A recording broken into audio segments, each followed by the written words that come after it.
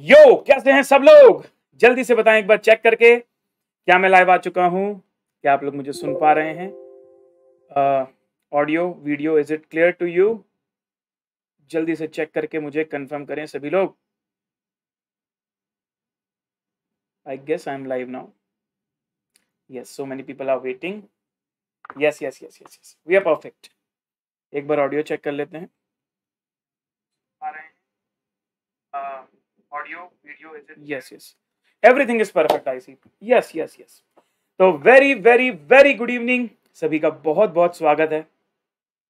इस दिन का बहुत बेसब्री से इंतज़ार था। काफ़ी दिन से हम आप लोगों को बता रहे थे कि we are going to start from first of September और ये बात बिल्कुल सही है दोस्त कि uh, कुछ ऐसी सिचुएशंस बनी जिसकी वजह से हम कुछ दिन लेट हुए हैं बैच को शुरू करने में। लेकिन चिंता बिल्कुल मत करना यार। ठीक है? एकदम बेस्ट क्वालिटी कंटेंट आपको मिलेगा। आपको बस हमारे साथ बने रहना है और सब कुछ बढ़िया होगा। तो फाइनली देखो, यहाँ तक हम पहुँच गए ना, क्योंकि कुछ दिनों पहले तो इसकी भी सर्टेनिटी नहीं थी, कहाँ पढ़ाएँगे, कैसे पढ़ाएँगे, क्या करेंगे, क्या नहीं करेंगे, आप लोगों का क्या होगा, लेकिन धीरे धीरे धीरे धीरे सब कुछ इंप्रूव होता जा रहा है एवरीथिंग इज़ गेटिंग सॉर्टेड और मुझे पूरा भरोसा है कि मैं और आप मिलकर मिशन 80 प्लस इन कॉस्टिंग ज़रूर अचीव करेंगे। Welcome you all to ultimate CA YouTube channel this is CA intermediate May 2024 new syllabus का पहला बैच द विश्वास बैच तो आप लोगों ने हम पर विश्वास किया एंड मैं आपको बता रहा हूँ कि ये विश्वास का आपको पूरा वर्थ मिलेगा। चिंता मत करना। तो कॉस्टिंग का ये है पहला लेक्चर और मेरा नाम है प्रणव। तो एक बार मैं देख लेता हूँ, सब कुछ ओके रिपोर्ट चल रहा है भाई। हाँ जी। अभी हम लोग सिर्फ़ टॉपिक की बात करेंगे, सिर्फ़ क्लासेस की बात करेंगे, और अब हमारा मिशन है मे 24 इंटरमीडिएट जो हुआ, जो सारी चीज़ें हुई, जिसकी वजह से नेगेटिविटी आई थी, या जिसकी वजह से हम थोड़े समय के लिए भटक गए थे, उन सब बातों को भूल जाना है, ठीक है? कमेंट्स में भी अगर कोई ऐसे कमेंट्स कर रहा है भाई, कोई बात नहीं, करने दो यार, ठीक है? हमें हमारा फोकस पता होना चाहिए। मुझे मेरा फोकस पता है, तुम में से किसको खुद का फोकस पता है? जल्दी कंफर्म करके बताओ। यस सर अब हम पूरे तन, मन, धन के साथ लग गए हैं इस सीए इंटरमीडिएट मे 2024 की तैयारी में। यस एवरीवन बिल्कुल दिल से, बिल्कुल दिल से लग गए हैं। तो शुरू करूँ इंट्रोडक्शन के साथ? चलिए शुरू करते हैं सर तो my name is C A Pranav Popat. I am first I am chartered accountant with six plus years of experience after CA educator by passion by choice दिल से रे, दिल से रे, दिल से रे। तो फाउंडेशन लेवल में मैं आपको पढ़ाता हूँ मैथ्स एल स्टेट्स जो कि न्यू सिलेबस में हो जाएगा क्वांटिटेटिव एप्टीट्यूड और इंटरमीडिएट लेवल में मैं आपको पढ़ाता हूँ cost and management accounting which is paper number four of C A intermediate yes very good very good good evening good evening सभी लोग आते जाइए।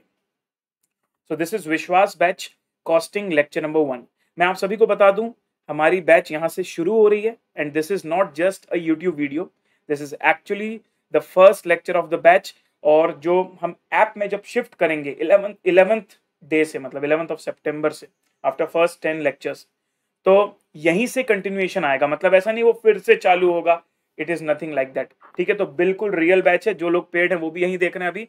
और जो लोग अभी क्वालिटी चेक करना है, वो भी यहीं देख रहे हैं। ठीक है जी? चलिए तो पहले दस लेक्चर्स पहले दस दिन पूरे के पूरे फ्री हैं यूट्यूब में, आप बिल्कुल चिंता मत करिए। ठीक है जी? चलिए लेट्स बिगिन तो आज का एजेंडा है sir introduction to the subject subject के बारे में थोड़ा सा आपको बताऊँगा। और कॉस्टिंग का बेसिक्स आज ही शुरू कर दूँगा मैं। चिंता मत करना, बिल्कुल भी। ठीक है? चलिए तो introduction to the subject cost and management accounting paper four and basics of costing match शुरू कर दूँगा। ये आपकी विश्वास बैच है।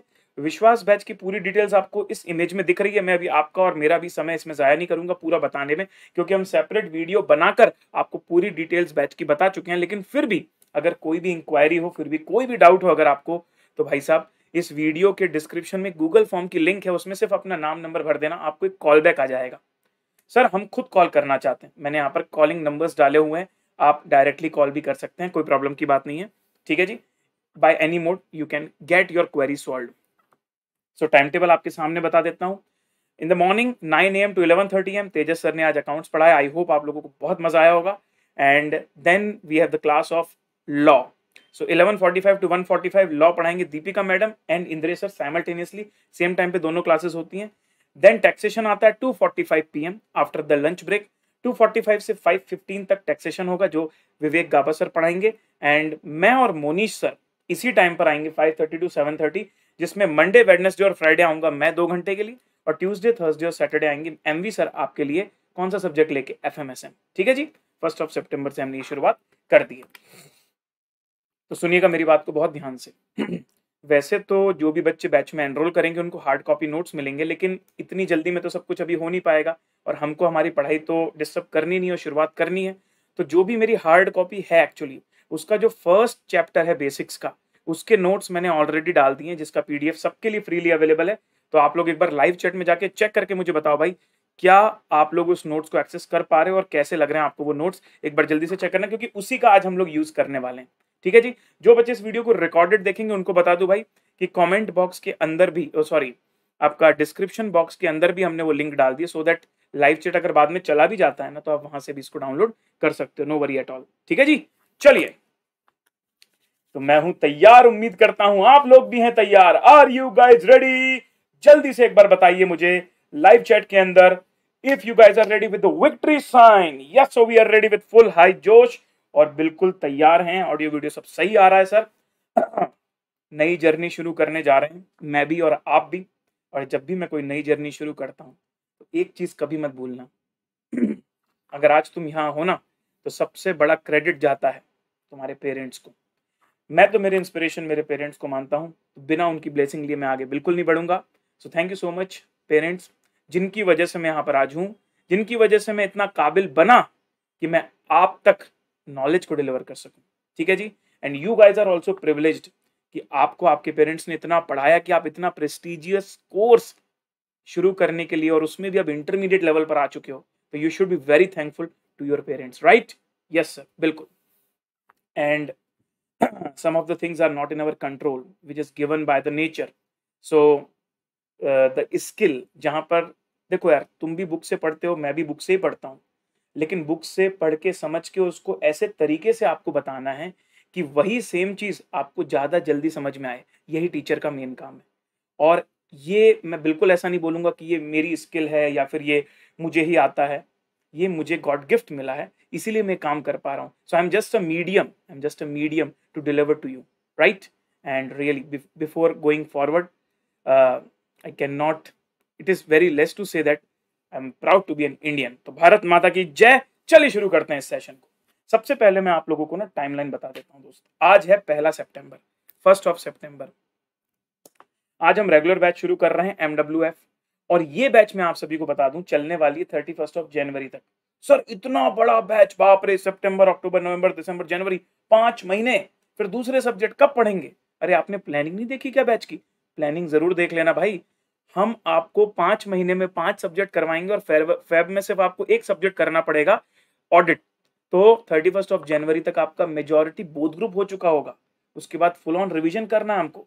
तो भाई अगर हफ़्ते में तीन दिन क्लास हो रही है तो सेशन थोड़े लंबे जाएँगे ड्यूरेशन थोड़ा लंबा जाएगा, लेकिन this is the very effective strategy if you are targeting both group अच्छा जी थर्टी फ़र्स्ट ऑफ़ जनवरी के बाद जब एक फेब से लेकर ट्वेंटी नाइन्थ ऑफ़ फेब तक आप खाली रहोगे तो आप रिवीजन शुरू कर सकते हो। सिर्फ़ एक ही क्लासरूम में आपको अटेंड करनी है। तो मैं आपको बता दूँ रेगुलर बैच में मेरा ऑब्जेक्टिव रहेगा कि आपको पूरी कॉन्सेप्चुअल क्लैरिटी दे दूँ। आईसीआई का स्टडी मटेरियल पूरा पी डालेंगे भाई हम लोग। और selected PY Qs and RTP जो कॉन्सेप्चुअल अंडरस्टैंडिंग के लिए ज़रूरी है, वो हम करेंगे। हर एक चैप्टर के बाद हम करेंगे चैप्टर वाइज टेस्ट और अब तो कॉस्टिंग के अंदर आ चुका है एमसीक्यू यस तो क्योंकि कॉस्टिंग में एमसीक्यू आ चुका है तो एमसीक्यूज भी करना है हम लोगों को। अब आपको लग रहा होगा कि सर मतलब आप थर्टी फ़र्स्ट ऑफ़ जनवरी तक हमको सपोर्ट दोगे? The answer is no sir why क्योंकि सपोर्ट होता है till the day of exam जब तक हम आपको सेंटर तक पहुँचा नहीं देते ना भाई सपोर्ट तो तब तक बरकरार रहेगा। आई होप आप में से बहुत सारे लोगों को पता होगा, या फाउंडेशन में भी आपने चीज़ एक्सपीरियंस करी होगी, कि अगर हम बच्चों की रिस्पॉन्सिबिलिटी लेते हैं तो जब तक आपको हम सेंटर तक ना पहुंचाते तब तक फुल ऑन सपोर्ट करते हैं by way of this virtual mode तो dedicated revision and mock papers आपको करने हैं रिविजन आपको बिल्कुल सेल्फ करना चाहिए, लेकिन कई बार बच्चों को प्रॉब्लम होती है सेल्फ रिवीजन करने में। तो वहाँ आपके सपोर्ट के लिए हम रिविजनरी सीरीज़ भी लाएँगे, जिसकी मदद से आप जल्दी रिवाइज कर सको। एग्ज़ाम जब कुछ दिन बाकी होंगे तो मैराथन सीरीज़ भी लाएँगे, और जब एग्ज़ाम के 1.5 डेज़ बाकी होंगे, तब तो आपको एक बेस्ट इफ़ेक्टिव सपोर्ट मिलना है, जो आई थिंक बहुत ही बड़ा टर्निंग पॉइंट प्रूव हो सकता है। बिकॉज़ लास्ट 1.5 डेज़ अगर अच्छे से मैनेज हो जाते हैं ना मोराल भी बहुत हाई होता है और सब कुछ रैपअप अगर अच्छे से हो जाता है तो बेस्ट आउटपुट हम लोग देकर आते हैं पेपर में। ठीक है जी? तो अब से लेके मई महीने तक, अब आपकी जवाबदारी है हमारी। करेक्ट है भाई? करेक्ट है? बहुत सारे अटेम्प्ट हो चुके हैं। आपने देखा होगा, भारत में एग्ज़ाम से एक दिन पहले जो मैराथन रिवीजन होता है, उसमें सबसे बड़ा नंबर हमारी क्लास में बैठा हुआ था। In the previous attempt 1400 people were live and so many have like watched it later तो करीब भाई 3000 के ऊपर तो लाइक्स थे and the video was around 40 50 के व्यूज़ इन जस्ट 1.5 डेज़ तो मैं ये नहीं बोलूँगा कि भाई uh, सिर्फ़ नंबर ही सब कुछ होता है लेकिन नंबर ऐसे ही नहीं आता है। It's all about the word of mouth जहाँ पर एक स्टूडेंट को जब कोई चीज़ अच्छी लगती है तो वो दूसरे को बताता है ऐसे ही लोगों को पता चलता है। ठीक है जी? I hope you are getting it मैं क्या कह रहा हूँ? अपना, शुरू करने से पहले यार, मैंने मेरे बारे में बहुत बता दिया। मैं क्या पढ़ाता हूँ, ये भी बता दिया। मैंने मेरा जो है इंट्रोडक्शन जो आप लोगों को रटा हुआ जो बच्चे हमसे फाउंडेशन में पढ़े हैं, वो भी बता दिया है। दिल से रे भी कर दिया है। अब बारी आपकी भाई। तो मैं जानना चाहता हूँ आपका फुल नेम क्या है, आपका सिटी स्टेट क्या है फाउंडेशन में क्या मार्क्स थे? अगर डायरेक्ट एंट्री से है तो डायरेक्ट एंट्री लिख दो। एक अपनी हॉबी बता दो और ये पूरा एक इस फॉर्मेट में लिखो इन द लाइव चैट तो जैसे मैंने लिखा ना, प्रणव पोपट मैं हूँ डिंडोरी एमपी से, मेरे 332 मार्क्स आए फाउंडेशन में और सिंगिंग और म्यूजिकल इंस्ट्रूमेंट मुझे प्ले करना पसंद है। मैं भी तो जानूँ भाई कि हमारे साथ जो बच्चे जुड़े हैं, भारत के किस किस कोने से जुड़े हैं और उनको क्या क्या शौक हैं और फाउंडेशन में भाई क्या धमाल मचा के आए हैं। लेट्स सी लेट्स सी भाई कमेंट ज़रूर करो। मैं वेट कर रहा हूँ तुम लोगों के कमेंट्स का। तो एक बार नाम भी पढ़ लेता हूँ। मुस्कान है, साहिल है, मंजीत है, निखिल है, सत्यम है। यस कोई बात नहीं, सत्यम, वो सब चीज़ें सॉर्ट आउट हो गई, अब आप ऐसा नहीं बोल सकते।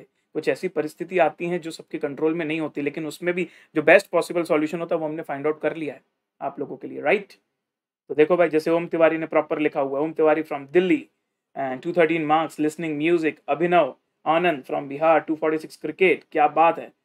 तो फन अड्डा जी thank you so much Sachin ji, Satish Kumar, Chennai, वाह, क्या बात है। Two eighty eight exercise and reading books two thirty Sakshi क्या बात है? नमन, दिसंबर।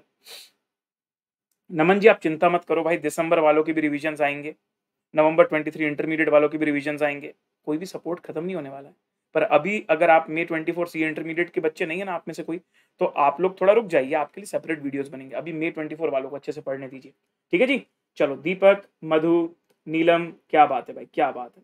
तो भारत के विभिन्न विभिन्न कोनों से दक्षिण भारत, उत्तर भारत पश्चिम भारत पूर्व भारत, सभी जगह से लोग जुड़े हुए हैं। बहुत अच्छा लग रहा है देख के। देखो कोयम्बतूर से भी हमारे साथ जुड़े हुए हैं। And Guwahati Assam north east भी कवर हो गया है। Mysore, Karnataka south is also covered बहुत बढ़िया है। दादरा एंड नगर, हवेली, क्या बात है यार। यूनियन टेरिटरीज भी जुड़ी हुई हैं। तो बस मैं आप लोगों को एक जो है फील देना चाहता था। And you guys all should feel that this is the national level class bro right तो डिफरेंट पार्ट्स ऑफ़ इंडिया से लोग जुड़े हुए हैं। और हम पे भरोसा किया। Thank you so much for that चलिए आगे बढ़ते हैं सर सब्जेक्ट के बारे में अब मैं आपसे बात करूँगा और बहुत ही जल्दी इस डिस्कशन को क्विकली बताने के बाद मैं टॉपिक चालू करने वाला हूँ। लेकिन मैं जो अभी बता रहा हूँ, वो सुनना बहुत ज़रूरी है। तो क्या आप लोग फुल्ली अटेंटिव हो? प्लीज़ एक बार। ओ भाई, यहाँ पर। विवेक सर करते ना? ओ ओ, भाई, तुमसे बोल रहा हूँ। सुनो सुनो सुनो, इधर। मज़ा आया होगा विवेक सर से पढ़ के आज राइट चलो, ये तो मैंने भी उनसे सीखा। ये बढ़िया तरीका है अटेंशन ग्रैप करने का। ओ ओ, भाई भाई, तुमसे कह रहा हूँ। सुनो सुनो, यहाँ सुनो।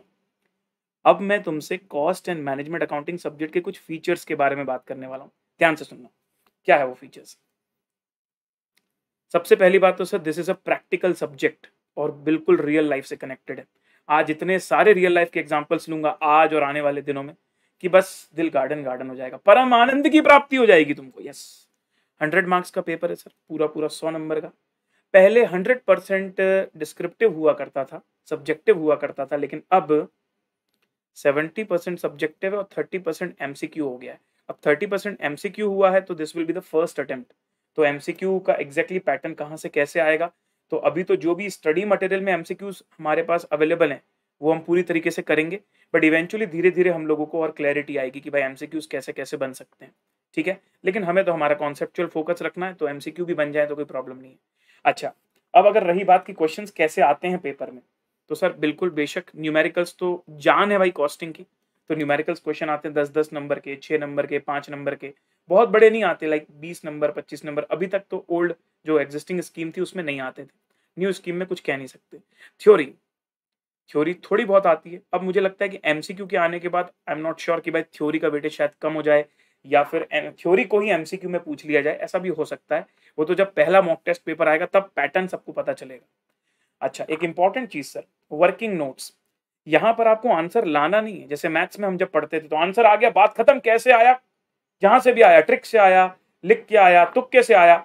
अगर सही है तो सही नंबर मिल जाएँगे। लेकिन यहाँ ऐसा नहीं चलता भाई। अब तुम सब्जेक्टिव सब्जेक्ट में आ चुके हो।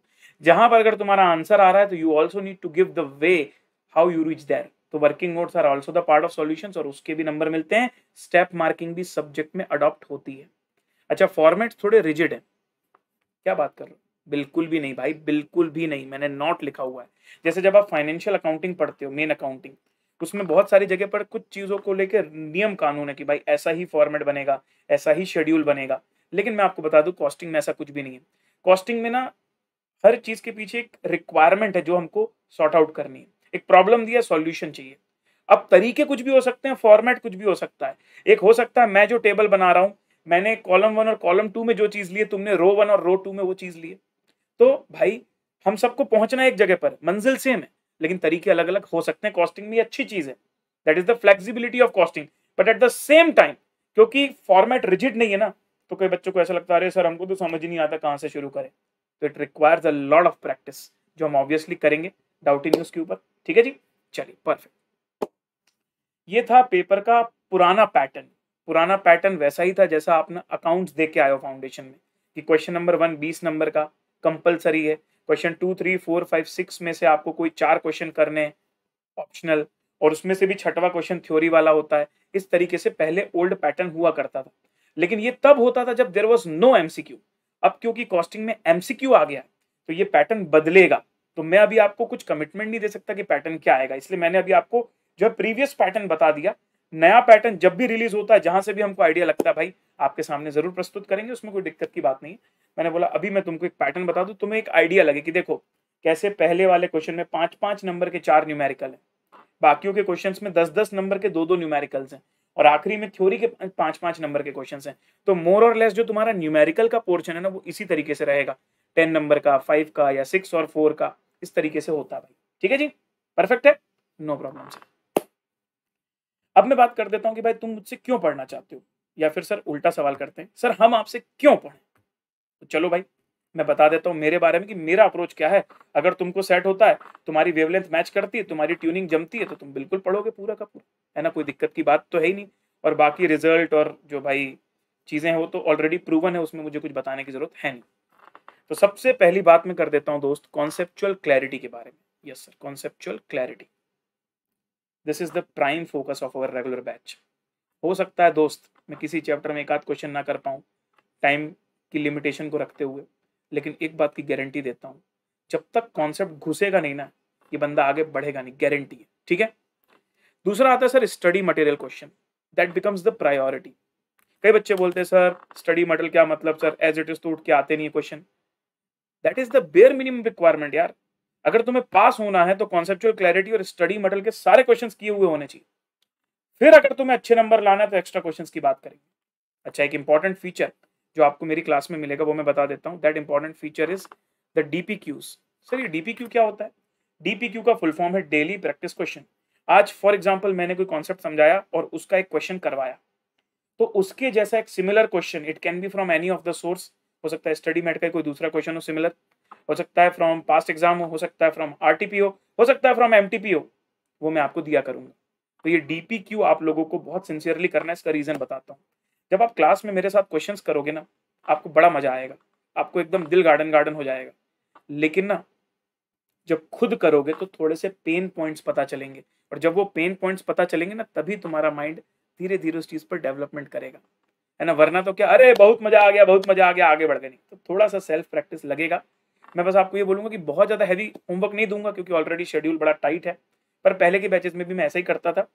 One question in a day ठीक है? हो सकता है किसी दिन, जैसे आज हम लोग बेसिक्स पढ़ रहे हैं भाई। बेसिक में तो न्यूमेरिकल होता ही नहीं। आज की तो बात ही अलग रहेगी। तो उसमें मैं कोई होमवर्क नहीं दूँगा तुमको। लेकिन ये मैं एक रेगुलर बेसिस पे बोल रहा हूँ। जब हम मटेरियल कॉस्टिंग चालू कर देंगे, जब हम प्रैक्टिकल चैप्टर्स चालू कर देंगे, तब की बात कर रहा हूँ। तब ये रूटीन हमारा बनेगा डीपीक्यू वाला। तो डीपीक्यू आप लोगों को बहुत सिंसियरली सॉल्व करके आना है। और इस बार तो डीपीक्यू के क्वेश्चंस भी भाई हम आपकी बुक में ही इंक्लूड रहेंगे तो आपको यहाँ रेफर भी नहीं करना पड़ेगा, ठीक है? फिर आता है sir PY Q RTP question कई बच्चे ना बहुत इनिशियल लेवल से ही पीवाई क्यू आरटीपी को एज अ लोड लेने लगते हैं। मैं आपको एक बात बता दूँ, जब तक आपको सब्जेक्ट की क्लैरिटी और कॉन्सेप्चुअल अंडरस्टैंडिंग नहीं है ना, ज़बरदस्ती पीवाई क्यू आरटीपी का लोड लेने का मतलब नहीं पीवाई क्यू आरटीपी करना है द आंसर इज़ यस क्या इमीडिएटली करना होता है? The answer is no PY Q और आरटीपी में से कुछ ऐसे क्वेश्चन होते हैं जो मुझे लगते हैं कि मुझे रेगुलर बैच के साथ करने हैं। तो वो हम करते हैं, ठीक है? फिर रही बात एक्स्ट्रा पीवाई क्यू आरटीपीस की तो उसको लेके हम डिफरेंट सीरीज़ लेकर आते हैं रिविजनरी पीरियड में हमारे, जहाँ पर मैं बच्चों को वो भी करवा देता हूँ। उसकी चिंता बिल्कुल नहीं है।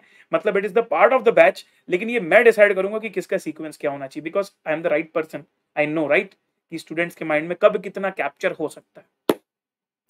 एक और इंपॉर्टेंट फीचर सर जो हम हमारे सारे प्रीवियस बैचेस में बिल्कुल स्ट्रिक्टली फॉलो किए हैं चैप्टर वाइज टेस्ट अब चैप्टर वाइज टेस्ट मैं जनरली दो तरीके से लेता हूँ। एक पेपर बना देता हूँ और बच्चों को एक टाइम बता देता हूँ और लिंक बता देता हूँ यहाँ डालूँगा। बच्चा उसको रिवाइज करता है मतलब एडवांस में इन्फॉर्म करता हूँ कि पेपर होगा टेस्ट होगा। जनरली उसको संडे को रखते हैं। और सॉल्यूशंस दो तरीके से प्रोवाइड करता हूँ। कभी कभी अगर मैं अवेलेबल नहीं हूँ या संडे को मैं ट्रैवल कर रहा हूँ तो लेट ना हो आपको तो सॉल्यूशंस पीडीएफ में प्रोवाइड कर देता हूँ कि खुद आप ऑटो इवेल्युएट कर लो। या तो फिर कभी कभी यूट्यूब में लाइव आके सॉल्यूशन डिस्कस कर लेता हूँ। अल्टीमेटली इवेल्युएशन तो आपको खुद ही करना है। लेकिन हो सकता है in the form of video हो सकता है सिर्फ़ पीडीएफ मिल जाए। बट आपका डिले नहीं होना चाहिए, मेरा मेन पर्पस होता है। भाई छः दिन हम क्लास ले रहे हैं तो कभी कभी संडे को प्लान्स हो जाते हैं कहीं जाने के। इसलिए मैं भाई ज़बरदस्ती की एक्स्ट्रा कमिटमेंट नहीं कर रहा कि हर बार वीडियो सॉल्यूशन से ही। लेकिन एक बात श्योर है टेस्ट होगा और बड़ा मज़ा आएगा तुमको टेस्ट में। और टेस्ट एक बहुत इंपॉर्टेंट चीज़ है भाई। अगर टेस्ट बता दिया जाता है ना एक हफ़्ते पहले से या चार दिन पहले से तो बच्चे का एक माइंडसेट बन जाता है कि अब मुझे थोड़ा समय निकालना है और टेस्ट के पॉइंट ऑफ़ व्यू से पढ़ना है। तो ऑटोमेटिक एक रिविजन हो जाता है। बिना मतलब प्रेशर के भी। या ऐसा बोल दो कि प्रेशर की वजह से हो जाता है। एक ऑटोमेटिक रिविजन जो अदरवाइज़ नहीं हो पाता। और इस बार एडिशनल चीज़ जो आएगी सर एमसीक्यू की प्रैक्टिस भी करेंगे।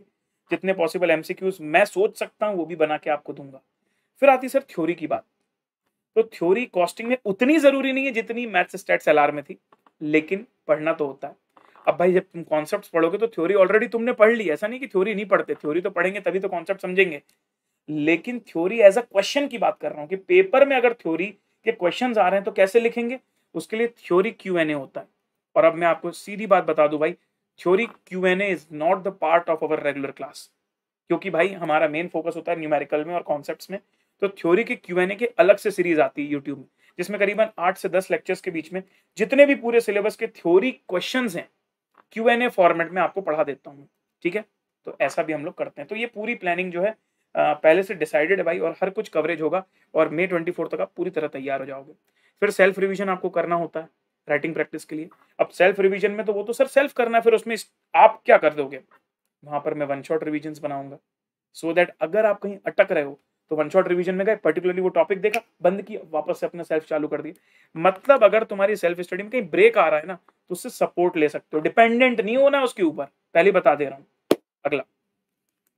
मॉक टेस्ट पेपर अगर हमें अच्छे नंबर लाने अगर हमें मिशन अकम्प्लिश करना है एट्टी प्लस का तो मॉक टेस्ट पेपर के क्वेश्चंस नहीं करने एक्चुअली तीन घंटे का मॉक पेपर देना है। तो मेरे हिसाब से कम से कम दो मॉक पेपर सभी बच्चों को देने चाहिए बिफोर द एग्ज़ाम्स और हम जिस हिसाब से बैच को प्लान किए हैं, आप सभी को वो समय मिलेगा, बिल्कुल मिलेगा। Let's come to effective use of 1.5 days इसके बारे में मुझे कोई बोलने की ज़रूरत नहीं है आप यूट्यूब में जाके मेरा नाम सर्च करके देख सकते हो। फुल सपोर्ट हमने पिछले कई अटेम्प्ट से बच्चों को दिया, और बहुत उससे इफ़ेक्टिव रिजल्ट्स भी निकल कर आए हैं। ठीक है सर तो ये था हमारे पास स्टडी अप्रोच के बारे में। अब भाई, ओ भाई, तुमसे बात कर रहा हूँ मैं। मैंने मेरी तो बता दी। मैंने सब्जेक्ट की तो बता दी। तुमसे भी कुछ एक्सपेक्ट करता हूँ। क्योंकि ये ऐसा गोल है जो कॉमन गोल है। तो मैं अकेला मेहनत करूँगा तो काम नहीं चलेगा, दोस्त। तुम्हें भी मेहनत करना पड़ेगा। कितने लोग मेहनत करने को रेडी हो? कितने लोग पहले से माइंडसेट बना चुके हो कि, सर, हमें एक बार में ही निकालना है। There is no option of second attempt एक बार में ही निकालना है। एक बार पढ़ेंगे, शिद्दत से पढ़ेंगे, जी जान लगा देंगे। सर, ये बार बार वाला चक्कर करना ही नहीं है। ना? है ना? तो ये जो मैं एक्सपेक्टेशंस तुमसे रखता हूँ, ये पूरी फुलफिल करनी पड़ेंगी तुमको। सबसे पहली चीज़ you need to have hundred percent attention in the class hundred percent attention चाहिए मुझे तुमसे क्लास में। दूसरी बात कई बार ओवर एंथू हो जाते हैं बच्चे। उनको लगता है बहुत ज़्यादा समझ में आ रहा है, बहुत ज़्यादा समझ में आ रहा है। अरे मेरे भाई, तू बिल्कुल डाउट पूछ भाई, तू सिली से सिली डाउट पूछ। मैं तो रिपीट करना तो मेरा फिदरत है भाई। मैं तो इनफैक्ट बदनाम भी हो गया प्रणव सर बहुत स्लो पढ़ाते हैं और हम लोग इसीलिए रिकॉर्डेड देखते हैं। प्रणव सर की दो घंटे की क्लास हम तो डेढ़ घंटे में कर लेते हैं। ये वो बच्चे बोलते हैं जिनकी ग्रेस्पिंग तेज है। वो वाकई में मेरा क्लास रिकॉर्डेड देखते हैं एक दिन लेट क्योंकि दो घंटे का क्लास वो आगे बढ़ा बढ़ा के डेढ़ घंटे में कर लेते हैं। बट रीजन क्या है?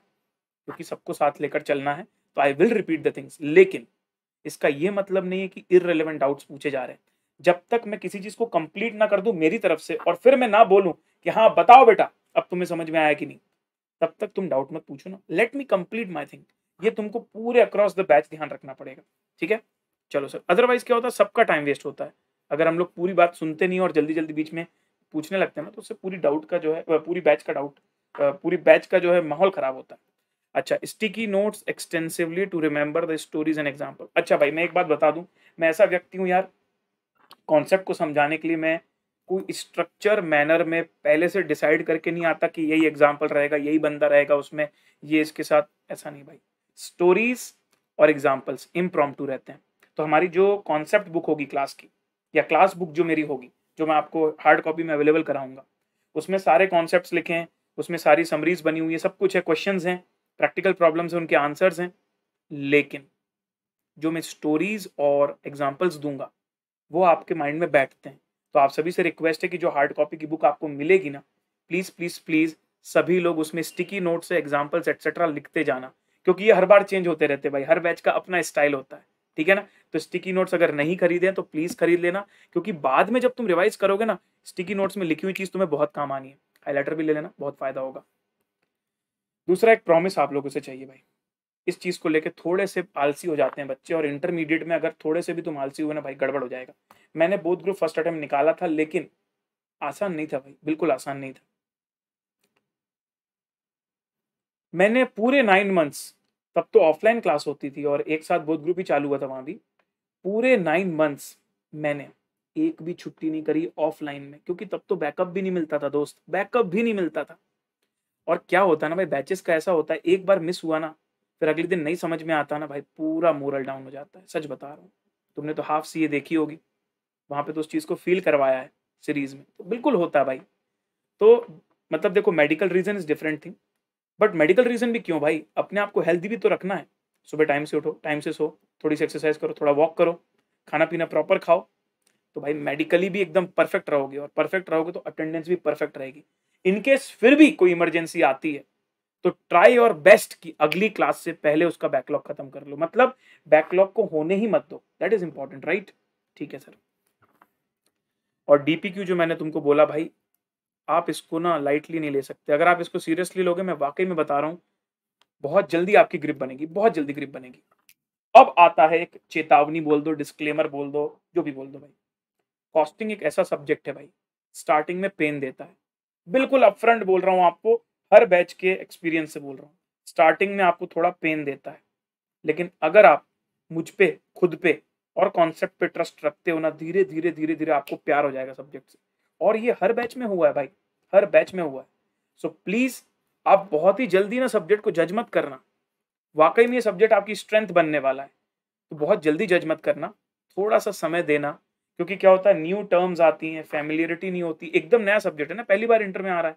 अकाउंट्स और लॉ तो आप पहले पढ़े हुए हो। ये कंप्लीटली न्यू है। इसलिए थोड़ा सा समय आपको देना पड़ेगा। और ये मैं हर बैच में बोलता हूँ। और मतलब एक महीने या फिर पच्चीस दिन बाद या डेढ़ महीने बाद डिपेंड्स ऑन स्टूडेंट्स आते हैं मैसेज सर पहले दस दिन में सर बहुत ऐसा लग रहा था कि कॉस्टिंग कैसे होगा, क्या होगा? लेकिन सर अभी सर बिल्कुल चिल्टू लगता है सर अभी बहुत मज़ा आता है सर मोहब्बत हो गई। ऐसे मैसेज आते हैं। और तुम भी ऐसे मैसेज करोगे, मुझे पता है भाई, उसमें डाउट ही नहीं कोई। तो अगर आप मेरी इन एक्सपेक्टेशंस पर खरे उतरते हो तो मेरा वादा है, मेरा वादा है तुमसे I will make you fall in love with this subject really I am going to do that for you ठीक है? और ये भी बोल रहा हूँ कि मैं ऐसा बिल्कुल नहीं बोल रहा तुमको कि बहुत ज़्यादा होमवर्क दूँगा, बहुत ज़्यादा प्रेशर डाल दूँगा, ऐसा बिल्कुल भी नहीं भाई। जो डीपीक्यू बोल रहा हूँ ना, एक क्वेश्चन है दिन का, वो भी कभी कभी नहीं होता। उतना बस कर लेना और क्लास में अटेंशन रखना। दो चीज़ें अच्छे से फॉलो करोगे ना, प्यार हो जाएगा, पक्का वाला, ठीक है? अब करते हैं सर हम लोग नोट्स और बुक्स इनके बारे में बातें, क्योंकि उनको लेके भी बहुत कंफ्यूजन होता है बच्चों के दिमाग में। तो सबसे पहले मैं आपको बता दूँ कॉस्टिंग की क्लास बुक आपको मिलने वाली है। सर, कैसी रहेगी कॉस्टिंग की क्लास बुक थोड़ा सा ग्लिम्स दिखाऊँ आपको? It will be like this जैसे ये बेसिक्स का है। तो कॉस्ट एंड मैनेजमेंट अकाउंटिंग यहाँ पर आपके कॉन्सेप्ट लिखे होंगे, जहाँ पर अच्छा आप सभी ने मेरे साथ या फिर कहीं से भी सी ए फाउंडेशन मैथ सलार स्टेट्स पढ़ा है। स्टैटिस्टिक्स के अंदर आपने पढ़ा है मोड्स ऑफ़ प्रेजेंटेशन क्या आप मुझे बताएँगे कि which is the best mode of presentation text table और डायग्राम में से सबसे बेस्ट मोड्स ऑफ़ प्रेजेंटेशन कौन सा होता भाई? Anybody anybody anybody please tell me यार। Which is the best mode of presentation? Sir the best mode of presentation is the tabular presentation Om Tiwari ने सबसे पहले बोला, शिवाक ने भी बोल दिया है। जेडी, पीयूष, मुस्कान, निशा, क्या बात है भाई। और ये बात को लेके मैं बहुत भाई इम्फेसिस देता हूँ ये लाइफ में बहुत ट्रू है ये बात। बिल्कुल ट्रू है। स्टडी मटेरियल का ही कंटेंट लेके आया हूँ। वर्ड्स को थोड़ा सिंपल बनाया है, लेकिन प्रेजेंट किया है टेबुलर फॉर्म में। टेबुलर फॉर्म में प्रेजेंट करने से वही कॉन्सेप्ट जो बहुत बड़ा दिखता है ना भाई, वो यहाँ छोटा सा दिखने लगता है। अच्छा एक बात का और प्रॉमिस करता हूँ। जिनको नहीं पता, उनको बता दूँ। मेरा पढ़ाने का अप्रोच ऐसा भाई कि पहले हम स्टोरीज और एग्जाम्पल्स के बारे में बात करते हैं और अंत में अंग्रेज़ी के बारे में बात करते हैं। क्योंकि अगर हमने पहले अंग्रेज़ी के बारे में बात कर ली ना भाई तो पूरा मज़ा खत्म हो जाता है पढ़ाई का। क्या, मानते हो कि नहीं मानते इस बात को? तो पहले कॉन्सेप्ट उसके बाद अंग्रेज़ी। है ना? पहले चीज़ों को समझ लिया, उसके बाद इंग्लिश पढ़ लेंगे। क्योंकि बाद में पढ़ना भी ज़रूरी है ना भाई। इंग्लिश भी पढ़ना ज़रूरी, लिखते भी तो आना चाहिए। ठीक है, सर। डन है, सर। और टेबुलर फॉर्म में रखने का रीजन ही है भाई कि आप लोगों को जो है रिवाइज करना, आप लोगों का जो है मतलब एक माइंडसेट मैप माइंड मैपिंग जल्दी हो जाती है टेबुलर फॉर्म में रखने से। ठीक है जी? तो अभी मैंने सॉफ्ट कॉपी पहले चैप्टर की डाल दी है, बाद में जो भी लोग बैच को एनरोल करेंगे भाई, उनको फटाफट से जो है डिस्पैच हो जाएगा और हार्ड कॉपी भी मिल जाएगा। तो दो वॉल्यूम्स रहेंगे। अभी आपको पहला वॉल्यूम डिस्पैच होगा, क्योंकि दूसरे वॉल्यूम पर काम चल रहा है। तो अभी आपको पहला वॉल्यूम डिस्पैच होगा, है ना?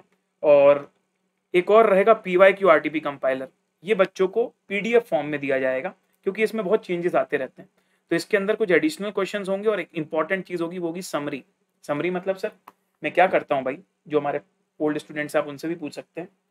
मैं ना एक पर्टिकुलर चैप्टर में आज तक जो भी क्वेश्चन पी वाई क्यू और आरटीपी में आए हैं ना, उनकी एक समरी बना देता हूँ।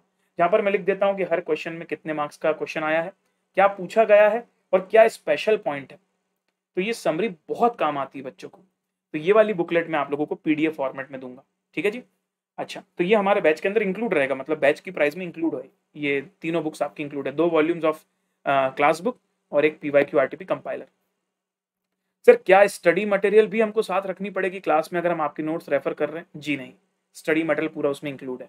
स्टडी मटेरियल के क्वेश्चंस भी इंक्लूड है। स्टडी मटेरियल के कॉन्सेप्ट्स भी इंक्लूड है आपकी क्लास बुक में। कौन सी बुक में? क्लास बुक में। करेक्ट है? चलो जी। आपको बुक्स कहीं ऑर्डर नहीं करनी है। जब आप बैच खरीदोगे ना तो आपका एड्रेस लिया जाता है। वहीं ऑर्डर डिलीवर होगा। हाँ मतलब डिस्पैच होने में थोड़ा टाइम लगेगा, दस सितंबर तक डिस्पैच होगा। अभी हम लोग पहला चैप्टर तो हमारा पीडीएफ से करेंगे। इनफैक्ट इनफैक्ट मैं आप सभी को एक रिक्वेस्ट करना चाहता हूँ। I know I know that is wrong but अभी क्या करें भाई? एकदम से सब चीज़ नहीं हो पा रही। बट मैं चाहता हूँ कि पहला चैप्टर कम से कम तुम प्रिंट करवा लो। भले ब्लैक एंड व्हाइट प्रिंट करवा लो, कोई बात नहीं। तुमको जो हार्ड कॉपी आएगी वो तो कलर्ड आएगी। बट मैं चाहता हूँ कि जो पहला चैप्टर है भाई, जो मैंने आज अपलोड किया है, उसको प्लीज़ प्रिंट करवा लेना। ठीक है जी? तो फ़ायदा रहेगा उससे। सर, हमको कोई रजिस्टर या नोटबुक बनानी है? बिल्कुल बनानी है भाई। जितना ज़्यादा लिखेगा इंसान कॉस्टिंग में, उतना ज़्यादा अच्छा नंबर लाएगा। तो क्लास बुक जो हमारी है, उसमें हमने illustration problems P Y Q R T P के क्वेश्चन लिए हैं।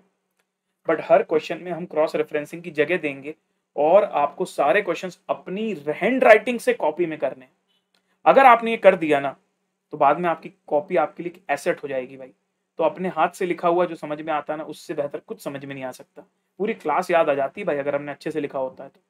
तो every problem of the class book should be solve in your notebook in writing और आपको क्रॉस रेफरेंसिंग भी करनी है क्लास बुक और नोटबुक की। ठीक है जी? तो एक बार मुझे कंफर्म करके बता दीजिए, क्या सभी लोगों को मेरी बात अच्छे से सौ प्रतिशत क्लियर है? हंड्रेड वाला साइन डाल दीजिए लाइव चैट में सो so दैट हम लोग अब पढ़ाई शुरू करें हमारी। पढ़ाई मतलब एक्चुअली टॉपिक ना है अभी तक जो मैंने बातें बताई वो भी ज़रूरी थी बिकॉज़ इंडक्शन भी ज़रूरी होता है बच्चों को ये पता होना चाहिए कि वो क्या करने वाले हैं।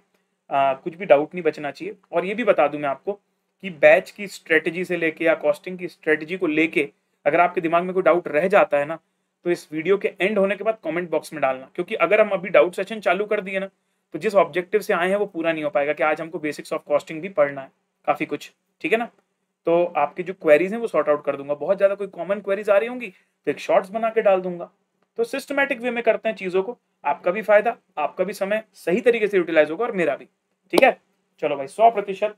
बच्चों को मेरी बात अच्छे से क्लियर है। तो ये तो बहुत अच्छी बात है यार। थोड़ा पानी वानी पी लो फिर मैं। सर, पानी पी लो। सर, कौन मना करेगा? सर, आपको तुम भी पानी पी लो भाई। मैं भी पानी पी लेता हूँ। उसके बाद हम लोग जो है बेसिक्स ऑफ़ कॉस्टिंग शुरू करते हैं। कूल सर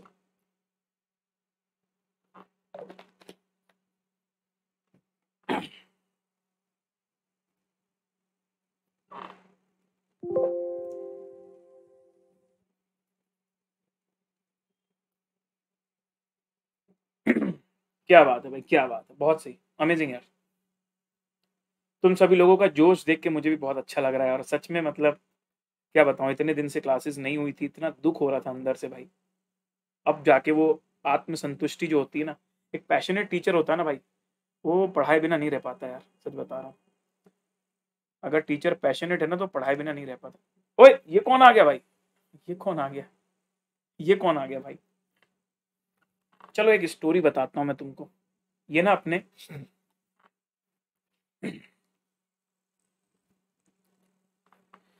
कारपेंटर करण भाई कौन है ये? कारपेंटर करण भाई। सारे लोग जल्दी से लिखो लाइव चैट में ये है कारपेंटर करण भाई। भाई, तुमको इन्वॉल्व होना एग्ज़ाम्पल में। स्टोरी में इन्वॉल्व हो जाओगे अपने आप को। मैन्युफैक्चरर मान के मेरे साथ चीज़ें करोगे तो बहुत जल्दी समझ में आएगा। तो ये करण भाई कारपेंटर अपने, ठीक है? चलो। इनका ना एक बहुत बढ़िया सा वर्कशॉप है भाई। जहाँ पर वो फर्नीचर बनाते हैं। कारपेंटर हैं तो फर्नीचर ही बनाएँगे भाई, उसमें तो कोई सवाल ही नहीं। एमवी सर जैसे लग रहे हैं क्या? ये एमवी सर का यूरोपियन वर्जन है है ना? इसकी फ़ोटो लेके एमवी सर को ज़रूर टैग करना है इंस्टाग्राम में। कि देखो सर, हमको क्लास में पहले ही पहले ही स्लाइड में एमवी सर मिल गए, लेकिन लगता है एमवी सर के बिछड़े भाई हैं। हाँ। हाँ कारपेंटर करण भाई। ठीक है, बहुत बढ़िया। सभी लोग कारपेंटर करण भाई को पहचान चुके हैं, कोई दिक्कत की बात नहीं है। अब सुनना ध्यान से मैं क्या बोल रहा हूँ?